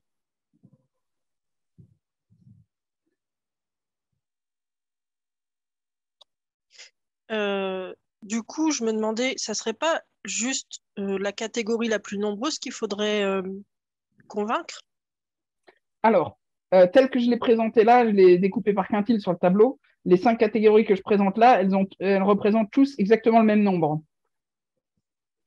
Mais effectivement, alors, il y a deux choses euh, pour, pour, répondre plus précisément à ta question, parce que euh, la société et les rapports de force euh, ne sont pas représentés forcément par ces cinq catégories. Il y a des, et clairement, la catégorie la plus nombreuse, c'est celle qu'on appelle des classes moyennes aujourd'hui, qui n'est pas représentée directement par un quintile sur ce tableau. il se trouve que il, se passe deux choses. On pourrait partir du principe qu'en démocratie, euh, la majorité a toujours raison et qu'il suffit d'avoir les plus nombreux euh, pour l'emporter. Et pourtant, euh, on l'a vu l'année qui s'est passée, les plus nombreux sont ceux qui sont contre la réforme des retraites et la réforme des retraites est passée quand même. donc, c'est compliqué. Euh, on a euh, une population de gens qui, euh, pas encore majoritairement, mais il y a, une masse de gens qui ne votent pas. ceux qui ont le plus intérêt à changer sont ceux qui ont le plus tendance à ne pas voter. et on n'a pas non plus encore, bien que ça, ça pourrait venir n'importe quand parce que ça, ça vient toujours sans prévenir, on s'y attend pas et un jour ça débarque. Euh, mais il me semble qu'on a, on n'a pas encore vu qu'on a la masse critique pour euh, déclencher une révolution et faire le changement en dehors des urnes. Euh, mais comme dit, la semaine d'avant la chute du mur de Berlin, personne ne pensait jamais qu'il tomberait. Donc ça, c'est quelque chose peut-être, mais on ne sait jamais si ça va arriver, quand ça va arriver et comment ça va se produire et quel va être le résultat. Bah, C'est-à-dire qu'après, c'est quel quelle dose de violence physique les gens sont prêts à supporter par rapport à la violence euh, quotidienne euh, euh, qu'on leur impose? Mm. Alors, ça, j'ai un début de réponse en regardant ce qui s'est passé dans l'histoire. Mmh. mais comme dit, c'est un début de réponse et l'histoire ne se répète jamais exactement.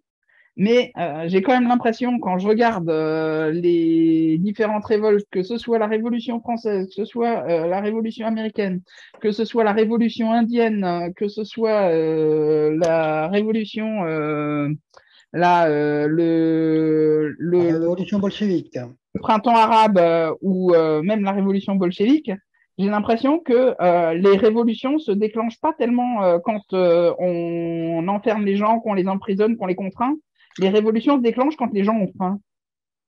Euh, et euh, c'est probablement pour ça que euh, déjà l'empereur Vespasien disait pour tenir le peuple, il faut du pain et des jeux.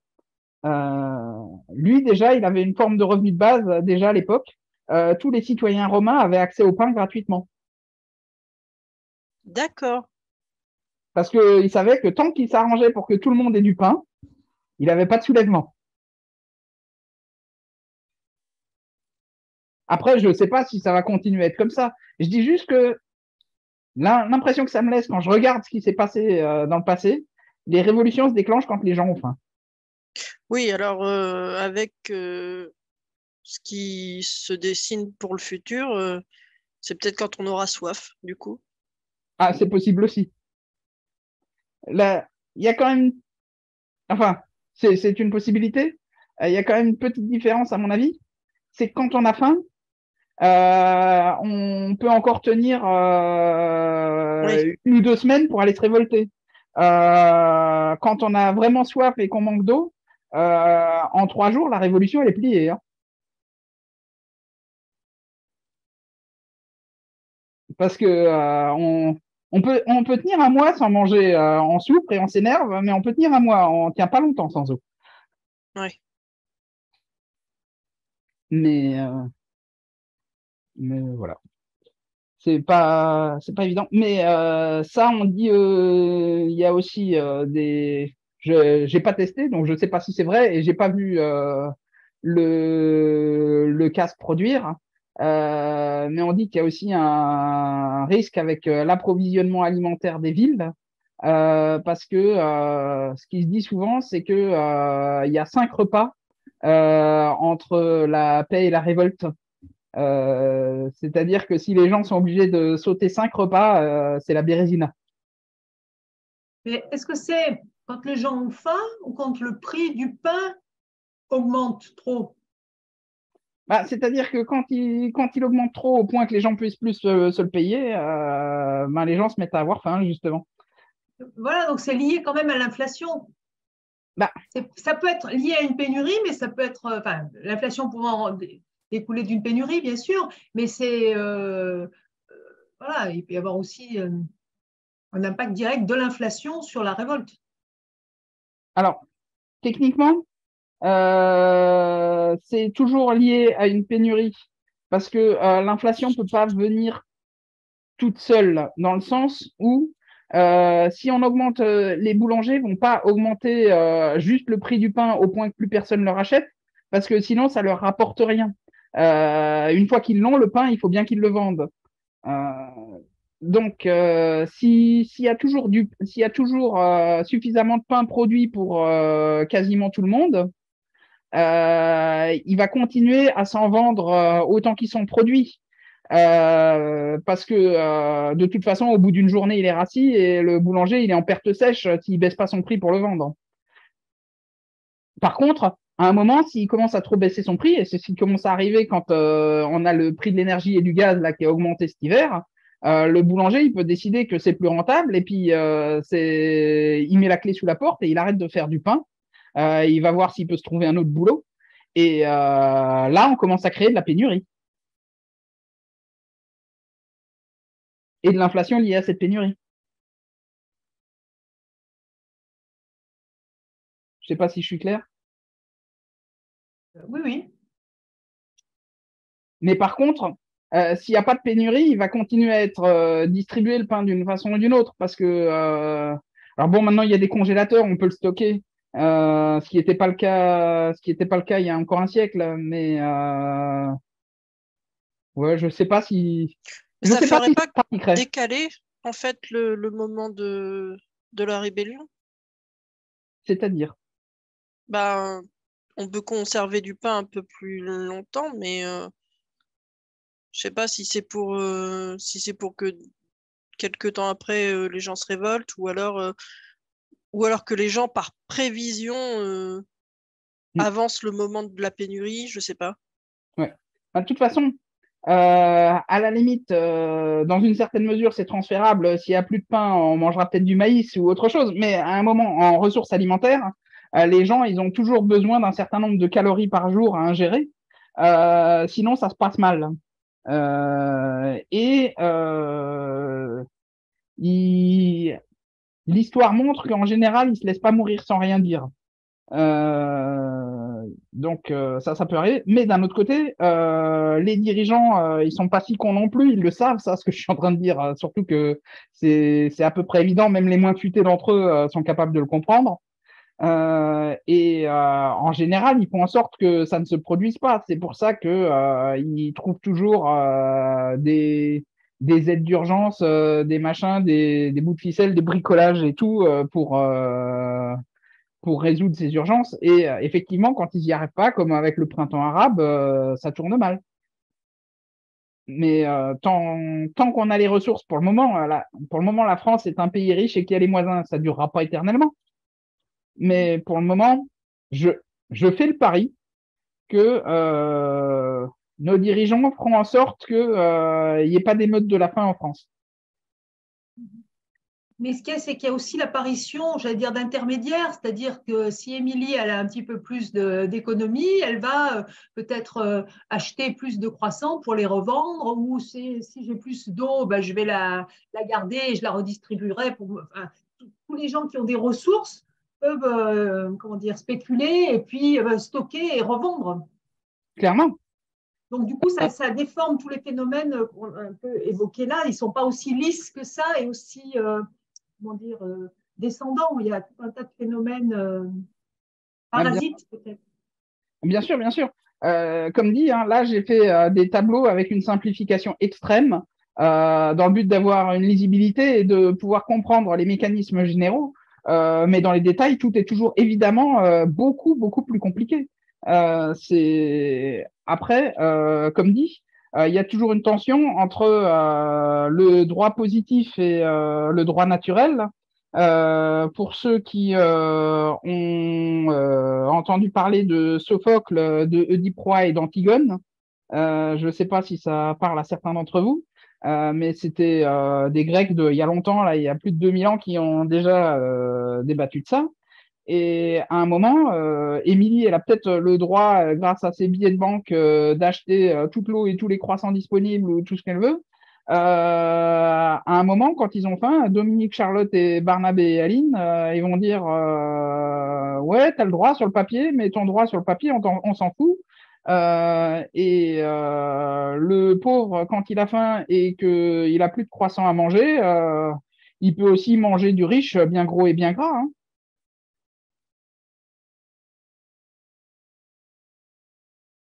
voilà, je veux dire, c'est toujours, au bout du compte, euh, le droit à la répartition des ressources et des richesses, c'est toujours un rapport de force euh, entre euh, des gens qui savent s'organiser pour pouvoir faire valoir leurs forces et donc leur point de vue.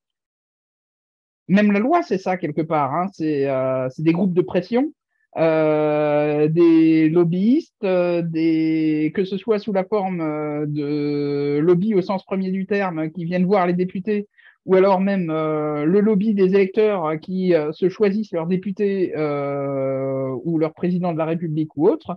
à un moment, c'est un rapport de force et c'est ceux qui sont capables de faire valoir leur force qui gagnent. Hein. Moi, la question qui me vient là tout de suite, c'est pourquoi pas aller voir les lobbyistes, justement, et les convaincre en quoi ils auraient intérêt à ce que le revenu de base soit mis en place, tout en, ben, comme c'est des lobbyistes, malheureusement, ils vont nous dire, d'accord, pour la France, et nous, on a peut-être tout intérêt encore que les choses soient produites en Chine ou ailleurs. Alors, tout à fait. Alors, euh, qu'est-ce que tu entends par voir les lobbyistes? Parce que, par exemple, euh, nous, le mouvement français pour le revenu de base, nous sommes un lobby. Euh, nous sommes déjà convaincus de l'utilité du revenu de base, évidemment, et euh, nous faisons euh, du travail de lobbyiste auprès de nos élus pour essayer de les convaincre de changer la loi, même si jusqu'à présent, on n'a pas bien réussi. On n'est pas des bons lobbyistes, peut-être Je ne pense pas que vous soyez des mauvais lobbyistes, puisque vous existez de toute façon, sinon il n'y aurait pas de lobby. Mais disons, allez voir les lobbyistes économistes ceux qui n'ont pas forcément la même mentalité que toi, Henri, une très bonne mentalité euh, que tu as d'ailleurs, à mon avis. Ce n'est que mon avis. Mais mm. bon, après, bon, je ne suis pas là pour, euh, pour lécher les bottes. Hein. On va, je vais continuer mon raisonnement. Aller voir les lobbyistes euh, commerciaux, économiques et compagnie et leur dire qu'ils ont tout intérêt à mettre en place un revenu de base. Que s'ils n'ont pas de cœur pour se dire que ça fera apaiser les tensions, que les gens, peut-être le noyau familial en France sera, sera restructuré, que les gens de leur esprit seront plus apaisés et que l'esprit sera peut-être plus structuré, que les relations sociales et notamment les relations professionnelles seront mieux structurées et plus assainies, que la société sera plus structurée et plus assainie. S'ils n'ont pas de cœur pour ça, au moins qu'ils mm. fassent des états d'âme, qu'ils fassent des états d'âme en se demandant quel est le sens de ce qu'on fait. Est-ce qu'en euh, en lançant la, révolution industrielle euh, après la révolution française, enfin non, c'était un petit peu avant, euh, on ne s'est pas un petit peu demandé trop vite comment on allait faire les choses avant de se demander pourquoi on allait faire les choses, et avant de se demander pourquoi, quel, était, quel est le sens de ce qu'on allait faire, et avant de se demander quel était le sens de ce qu'on allait faire, quelle intention on a de faire ça. Et tous ensemble, notamment l'élite intellectuelle de l'époque, Voltaire et compagnie, bon, on se passe sur la lumière. Et puis, s'ils n'ont pas d'état d'âme pour ça, au moins, qu'il leur reste les neurones de se demander pourquoi relancer une société de consommation dans laquelle on ne peut plus consommer. Mm. Alors, euh, je vois que nous avons dans la salle euh, Antoine Mouret qui est présent. Et euh, je pense que au MFRB, euh, c'est lui la personne la plus désignée pour répondre à ta question, en fait. Donc, euh, s'il nous entend, il pourrait peut-être prendre la parole et tenter une réponse.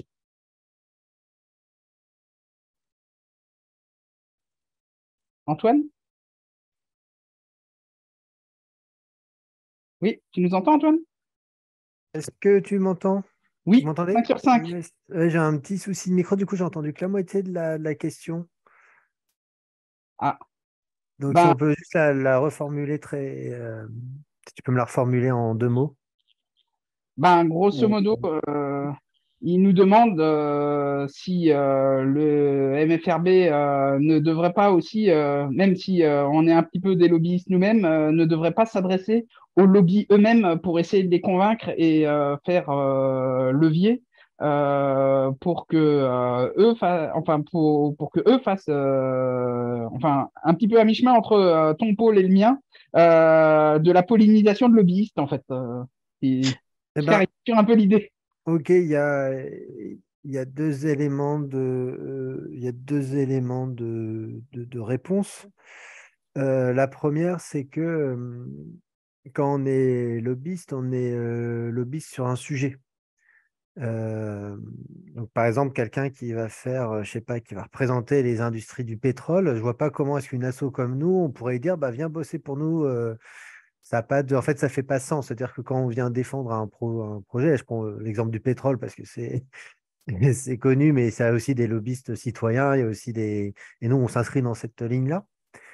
Euh, mais donc, en fait, euh, c'est pas euh, convaincre un lobbyiste, c'est pas ça ce qui va faire qu'il va faire du lobbying pour nous. À la rigueur, il va peut-être pouvoir nous donner des pistes, mais euh, quand on est dans son boulot, euh, quand, quand on est dans son boulot, on peut pas changer sa mission du jour au lendemain.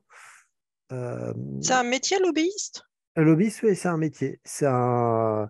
Alors après, ça prend des noms, ça peut prendre des noms. Enfin, c'est pas que un métier, mais, mais en gros, il y a des gens qui sont, qui, enfin, il y a des cabinets de lobbying. Oui, oui, ça, ça, ça un- et- effe- effectivement. Et, euh, et en fait, le, principe du lobbying, ça consiste à être une, euh, une force euh, qui est souvent, soit qui représente une entreprise, soit qui est citoyenne, en tout cas qui représente un groupe d'intérêt et qui va aller voir les personnes en charge, donc souvent les, les politiques, pour les convaincre que leur groupe d'intérêt, on, on devrait faire ça pour, euh, pour leur bien. Donc, par exemple, il y a le lobbyiste, il y a le lobbying des, chasseurs, il y a le lobbying euh, des écologistes, il y a le lobbying euh, des industries du pétrole, il y a.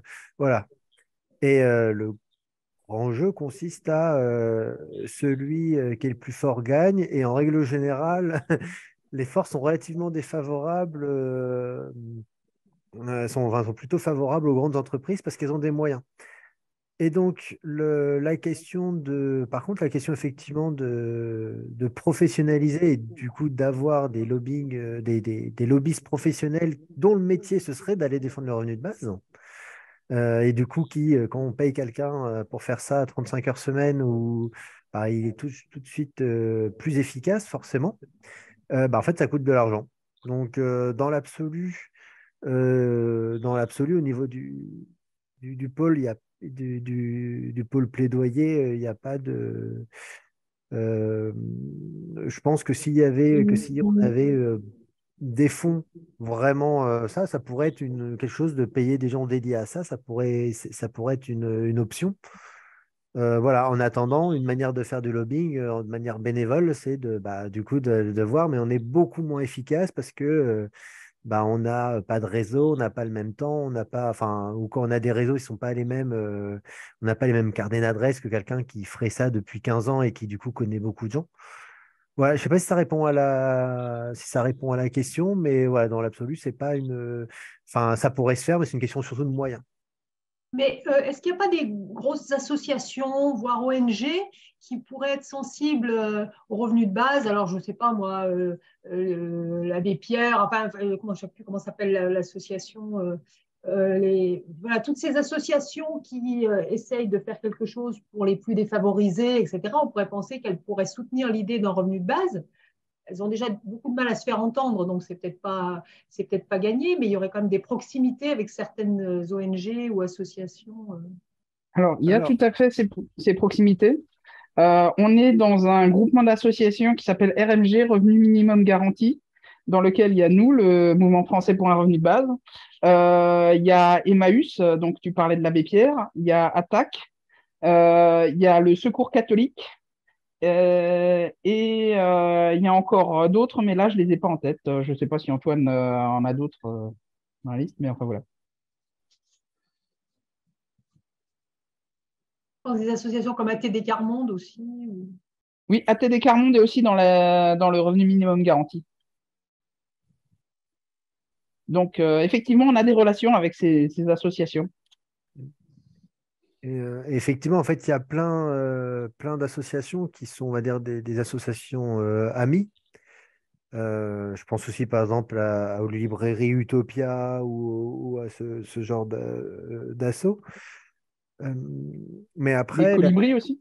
les, les, colibris, voilà, enfin, a et après, euh, mais la difficulté, c'est que tout le monde est, euh, tout le monde va défendre un peu son, projet. Et donc, on ne peut pas demander à, d'autres assos de venir s'emparer de notre sujet euh, et, d'en faire leur priorité. voilà, c'est-à-dire que globalement, on peut leur demander de co-signer, là, par exemple, sur la, loi RSA, il va y avoir des, il y a des communiqués de presse qui sont co-signés. Euh, par le MFRB, et puis il y aura probablement un communiqué de presse qui viendra du MFRB qui sera co-signé par d'autres. Euh, bon, ça, ça demande. Voilà, mais après, demander à d'autres assos euh, de, s'emparer de sujets, par exemple, bah, en fait, chacune, a déjà ses propres problématiques et on, enfin, c'est pas. c'est voilà en fait chacun défend d'abord sur quoi il s'engage et ce, sinon les membres de ces assos là en fait ils viendraient au MFRB ils seraient pas dans ces autres assos donc travailler ensemble, oui, mais, euh, mais après, on ne peut pas leur demander de, faire notre taf à leur, à notre place parce que bah, en fait, ils sont sur leur propre, euh, sur leur, sur leur propre sujet. Mais oui, par contre, on a beaucoup, euh, et c'est quelque chose en train de se, se développer, qui est de, on a beaucoup d'assauts potentiellement partenaires et potentiellement amis. Oui, ça c'est. Ça, on peut Antoine? Antoine? Oui. J'ai une question à poser à Antoine. Euh, c'est peut-être un petit peu indiscret ou intime. si tu n'as pas envie de répondre, je comprendrai tout à fait. Mais dans votre démarche, donc euh, dans notre démarche, du coup, euh, quelle a été la structure ou l'individu le plus difficile à convaincre de soutenir le mouvement français du revenu de base?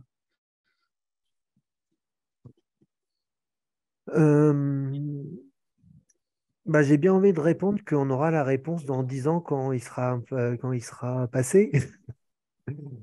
Euh, parce qu'actuellement, en fait, euh, c'est très, très difficile comme, comme question parce que déjà, on n'est pas allé voir tous les acteurs qui existent. Donc, dire lequel est le plus difficile à convaincre, c'est compliqué. Après, il faut avoir en tête qu'il y a plein que même euh, Henri, dans sa présentation, était assez pessimiste sur le fait que les plus riches n'avaient pas d'intérêt euh, à, avoir un revenu de base. Euh, pour ma part, moi, je ne suis pas totalement convaincu de ça parce qu'il y a des effets, des effets au niveau de la société qui sont extrêmement bénéfiques. Ça veut dire que on peut euh, être, très riche et estimer que euh, c'est mieux si on pouvait avoir des moyens d'éviter une guerre civile, c'est mieux si on peut éviter des moyens euh, d'avoir tous les 10 mètres des gens qui meurent de faim dans les rues, c'est mieux si... Et donc, et donc finalement, on peut imaginer qu'il y a un transfert de budget, ok, ils payent un peu plus d'impôts, mais ils ne sont pas obligés de payer des gardes privés quand ils sortent dans la rue l'un dans l'autre, peut-être qu'ils s'y retrouvent aussi. enfin, je caricature, hein, c'est parce que. Euh, mais finalement, il y a plein de. Il y a plein de choses. Donc après, qui sont les plus difficiles à, à, convaincre Alors, probablement les. Probablement, il y a peut-être. Euh, moi, je vois une, euh, une population qui serait tous les et encore peut-être tous les autoritaristes, c'est-à-dire des, personnes euh, qui, ont, qui ont un intérêt à ce qu'il y ait de la, pauvreté. Voilà, à la rigueur, mais du coup, c'est des gens qui sont extrêmement cyniques et finalement, euh, finalement, ce sera nos ennemis, donc on ne sera pas là pour les convaincre, on sera là pour les combattre. Et puis après, il y a peut-être aussi tout, tout le mythe de, la valeur travail qui, qui est à déconstruire. où là, il y, a du, boulot, mais ce n'est pas un partenaire identifié parce que même parmi des gens qu'on pourrait, imaginer nos ennemis intuitivement, en disant Ah, lui, il fait partie des 1% les plus riches, donc il, est contre nous, en fait, on peut trouver des arguments qui fassent que finalement, ils viendront avec nous parce que bah, si on aspire à une société plus juste, juste, voilà, juste ça, la, société, euh, le, mouvement français pour enfin, le, revenu de base, l'idée du revenu de base tel qu'il est défendu par euh, nous, est une solution. Et on peut être milliardaire et euh, aspirer quand même à une société plus juste. Pas, c'est pas incompatible. Donc, si, si les gens qui sont les plus puissants aspirent à une société plus juste, ils ont déjà des moyens financiers et d'influence pour euh, changer beaucoup de choses, non? Bah, C'est plus complexe que ça parce que euh, faut. Euh, Sauf s'ils sont minoritaires parmi les plus puissants. Bah, c'est, mm. une une question de rapport de force. Et puis du coup, faut avoir, faut avoir, faut avoir l'idée. Il faut avoir pris le temps de se pencher sur la, la question. Et je sais pas, quelqu'un qui est ne serait-ce que qui gagne ne serait-ce que 5 ou 6 000 euros par mois, et ça fait 10 ans qu'il gagne 5 ou 6 000 euros par mois, euh, si si, s'intéresse pas plus que ça, euh, voilà, s'il est un peu dans sa petite vie, qui s'intéresse pas plus que ça à la, euh, aux questions sociétales, etc., il a, il, il, a aucune idée, par exemple, de ce que ça signifie que de vivre avec 500 balles par mois. Antoine, tu viens de répondre à ma question. Voilà. Voilà. Qui, enfin, pour moi, là, clairement, oui, voilà, c'est ce, ce genre d'individu-là qui va être le plus difficile, ou qui est actuellement, ou qui a été, en fonction de ce, du travail que vous avez déjà effectué, le plus difficile à convaincre. Après, partant de, ce postulat, bon, on caricature un petit peu parce qu'on n'est pas dans la tête de tout le monde, et puis il n'y a pas que des, gentils tout gentils et que des méchants très méchants. Bref, il faut faire les nuances, j'ai envie de dire. Mais voilà, euh, quel argument on va avoir pour euh, aller convaincre ce genre de personnes-là, justement? Parce qu'avoir des arguments faciles pour euh, des personnes faciles à convaincre, certes, là où il faut, comment dire, réfléchir, enfin, c'est mon avis, hein, mais c'est les arguments les plus pointus et les plus nuancés pour convaincre les personnes les plus difficiles à convaincre avec la bonne attitude et de la bonne manière. Alors, comment on fait? Mais je pense qu'au-delà du fait de les convaincre de l'idée, parce que tout le monde peut être séduit par l'idée d'un, enfin tout le monde, ou beaucoup de gens peuvent être séduits par l'idée d'un revenu de base euh, minimum, mais il y a quand même, euh, je discute avec des amis, beaucoup de gens qui me disent, bon, c'était un peu l'objet de la, réunion d'aujourd'hui, oui, mais les impacts sur l'économie, bon, on parle de l'impact sur l'inflation ou d'autres impacts, euh, voilà, non maîtrisés, qui font que, au-delà de l'idée, les gens disent non, mais c'est pas réaliste ou pas, réalisable. Donc il y a deux niveaux euh, euh convaincre de bien fonder de l'idée et après de, sa faisabilité, de sa. Voilà. Donc euh, c'est deux niveaux d'argumentation peut-être. Là, je dirais que la, base, c'est comment dire de d'avoir de, enfin, c'est facile à dire, bon, d'avoir de l'intelligence intrapersonnelle et de se demander euh, quelle dose d'empathie on met pour la personne qu'on a en face avant de pouvoir lui donner une réponse efficace. Efficace, comment dire, qui lui sera dans son intérêt et dans le nôtre. Pour, pour répondre à, à, ça, il y a quand même. Euh, euh, en fait, il y a aussi ce qu'on porte, c'est aussi une vision de, la société. Et par exemple, euh, si on veut réfléchir en termes de. Euh, sur les populations, par exemple, les, plus riches, il y a un certain nombre de populations qui sont euh, qui vont qui vont s'intéresser soit au thème, au thème sécuritaire, soit, soit au fait de pouvoir euh, entreprendre. Et tout ça, en fait, on a des réponses. C'est juste que pour l'instant, on ne met pas forcément l'accent dessus. Mais il y a des. Enfin voilà, par exemple, on sait qu'un revenu universel de base, dans les expérimentations qui ont été faites, il y a et il y a des, bah en fait, il y a des, une relance de l'entrepreneuriat. Et donc, si on voulait aller sur ces terrains-là, on peut tout à fait. Et moi, j'ai vu autour de moi des personnes qui, de base, a priori, pourraient être totalement opposés à l'idée. Et puis finalement, quand on commence à expliquer que oui, mais n'empêche qu'avec un revenu universel de base, par exemple, il n'y aurait plus de SDF parce que c'est mécanique. C'est-à-dire que si tout le monde a de quoi se loger, bah, à moins que ce soit du choisi, mais sinon, il n'y a plus de, a plus de son domicile fixe en France, par exemple. Et, ben, et puis voilà, et qu'on met deux trois, deux, trois effets concrets. Et ben, finalement, il y a beaucoup de, il y a des personnes qui vont dire ah oui, en fait, c'est une bonne idée parce qu'il y a aussi cet aspect où on, on va sortir, on, sort aujourd'hui le système d'aide français dans une logique d'assistanat, c'est-à-dire qu'on va assister les gens quand ils en ont besoin.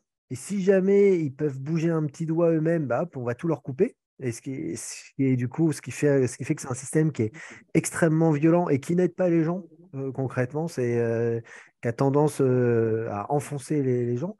Un revenu de base, bah, du coup, là, un peu tous les gens qui critiquent les aides, par exemple, et, voilà, et notamment on le voit avec la, la loi RSA, etc.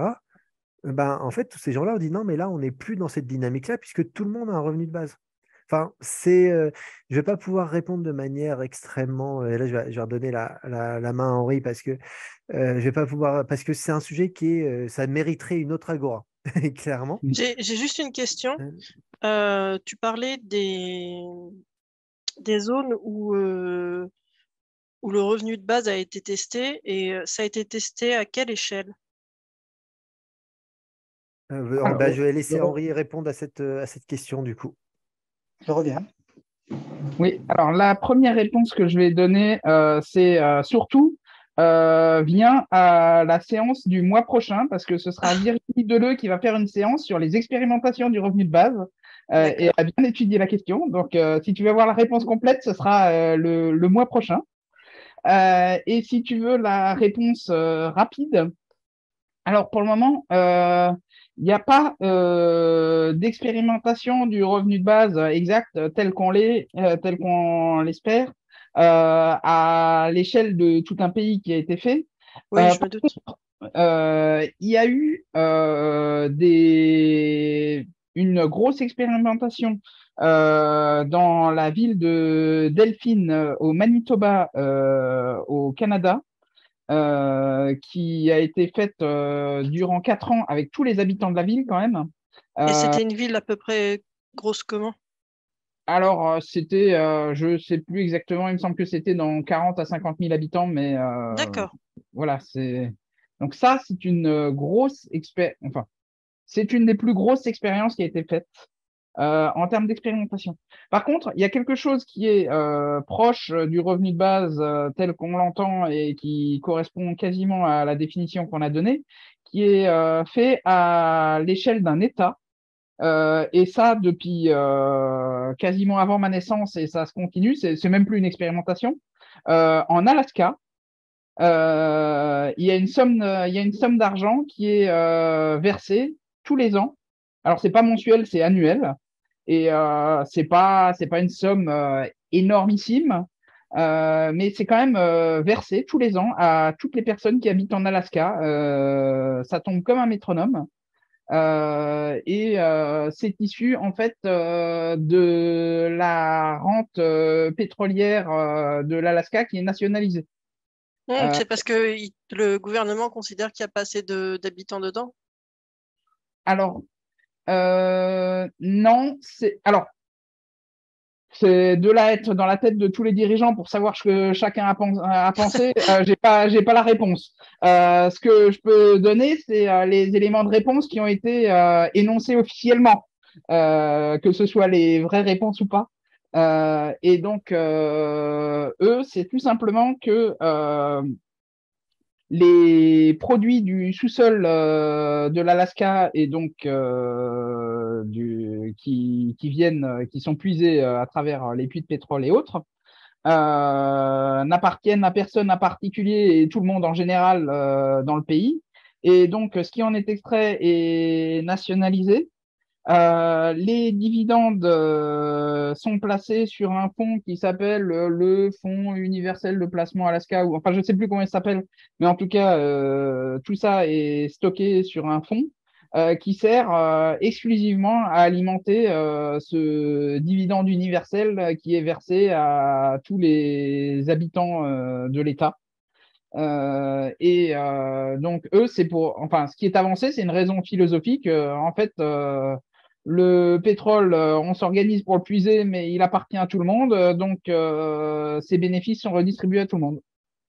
Il n'y a pas la même chose avec une philosophie différente en Arabie Saoudite? Alors, euh, il me semble que c'est pas en Arabie Saoudite, mais au Koweït, il y a quelque chose de similaire, mais j'ai pas tous les détails. Mais euh, il me semble qu'il y a quelque chose euh, d'un petit peu équivalent au Koweït, effectivement. par contre, ça réduit bien les inégalités là-bas. Alors, au Koweït, non. En, Alaska, oui, même si le montant n'est pas suffisant pour en vivre. il faudrait que ce soit un peu plus. mais en Alaska, c'est toutes les personnes qui habitent en Alaska euh, au Koweït, euh, c'est seulement euh, vers tous les Koweïtis. C'est-à-dire que tous les gens, toutes les personnes qui travaillent pour des Koweïtiens et qui n'ont pas la nationalité et tout ne touchent absolument rien. je trouve ça surprenant que ça existe sur un territoire des États-Unis quand même. Eh ben, alors figure-toi que la grande majorité des expériences. Alors, déjà, l'Alaska, euh, il y a beaucoup de gens, même aux États-Unis, qui considèrent que ça ne fait pas partie des États-Unis. Mais en dehors de ça, la, plus grande majorité euh, des expérimentations qui ont été faites ont été faites aux États-Unis. Euh, sous l'impulsion de, ça y est, j'ai oublié le nom de l'économiste adversaire de Keynes. Pardon? Warren. Warren. Warren. Non, c'est un autre nom. Ça y est, il me revient il m'a semblé voir euh, son visage, je ne me rappelle pas forcément de son prénom, sur la vidéo YouTube. Alors, je vous la recommande à tous et à toutes si vous ne l'avez pas vue. Euh, revenu de base d'une impulsion culturelle. C'est très intéressant. C'est fait par les Allemands. C'est très, très intéressant. C'est pas euh, Schmidt, Schmidt, Smith, Alan Smith. Non, pas, Adam, Smith. un plus tard, un de ce siècle, un contemporain de Keynes, qui a fondé l'école de Chicago je, bon, j'ai oublié son nom, ça, ça me reviendra. Euh... Elle, a dit, Schmidt, je crois, non, Au début, oui, j'ai dit Schmidt, mais je pensais à Adam Smith, mais euh, ça, ça, remonte à, à plus d'une quinzaine d'années, euh, mes, mes, cours d'éco. Non, non, euh, Adam Smith, c'était avant. Non, je vois très bien qui est Adam Smith, mais c'est pas, pas lui que je pensais. Mais enfin, bon, peu importe. Il y a un économiste important américain euh, qui avait un petit peu de pouvoir sur ce qui se passait euh, dans l'État, euh, qui avait lancé l'idée d'une forme de revenu de base par impôt négatif et qui avait lancé, qui avait impulsé l'organisation d'un certain nombre d'expérimentations dans plusieurs villes des États-Unis. et donc, c'est sans doute aux États-Unis qu'il y a eu le plus d'expérimentations de revenu de base.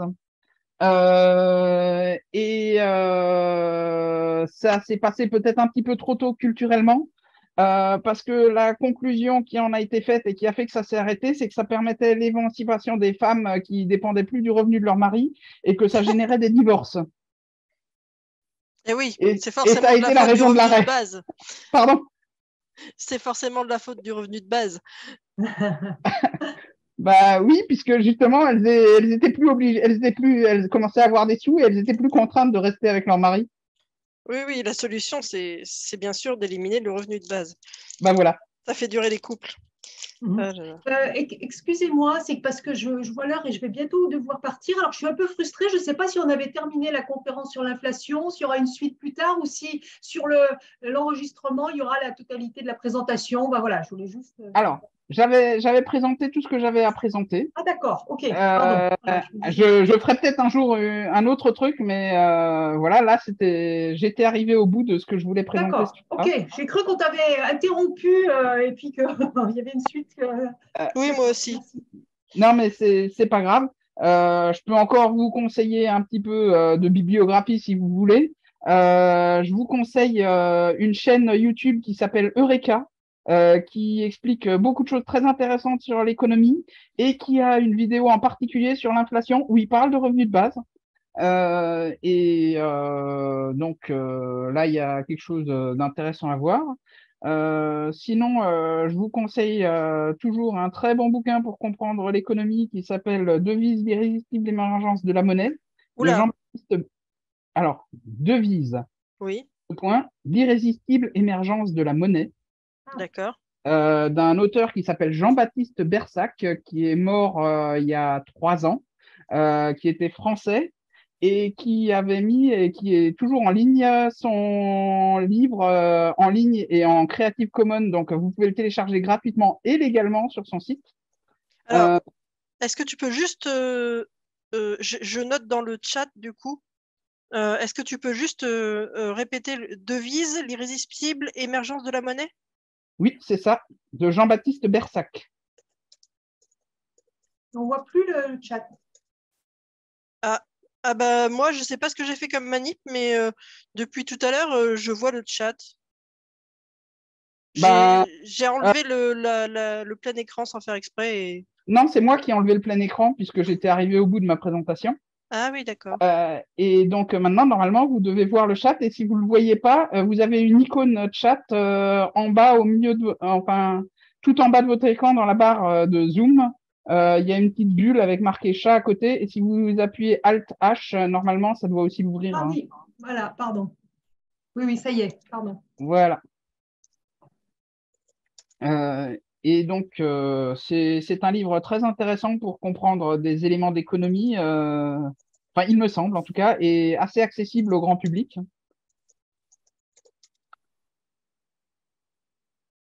Voilà. Euh, je sais plus ce que. Ensuite, si vous voulez des livres plus pointus euh, et un peu moins grand public, euh, il y a La théorie étatique de la monnaie de Johann Friedrich Knapp. mais c'est un peu plus tourné vers les universitaires. Et sinon, mais euh, il faut avoir lu d'autres livres avant, mais c'est quand même relativement accessible. Il y a euh, La théorie relative de la monnaie de Stéphane Laborde, euh, qui est aussi disponible sur son site internet en Creative Commons et en téléchargement du coup gratuit.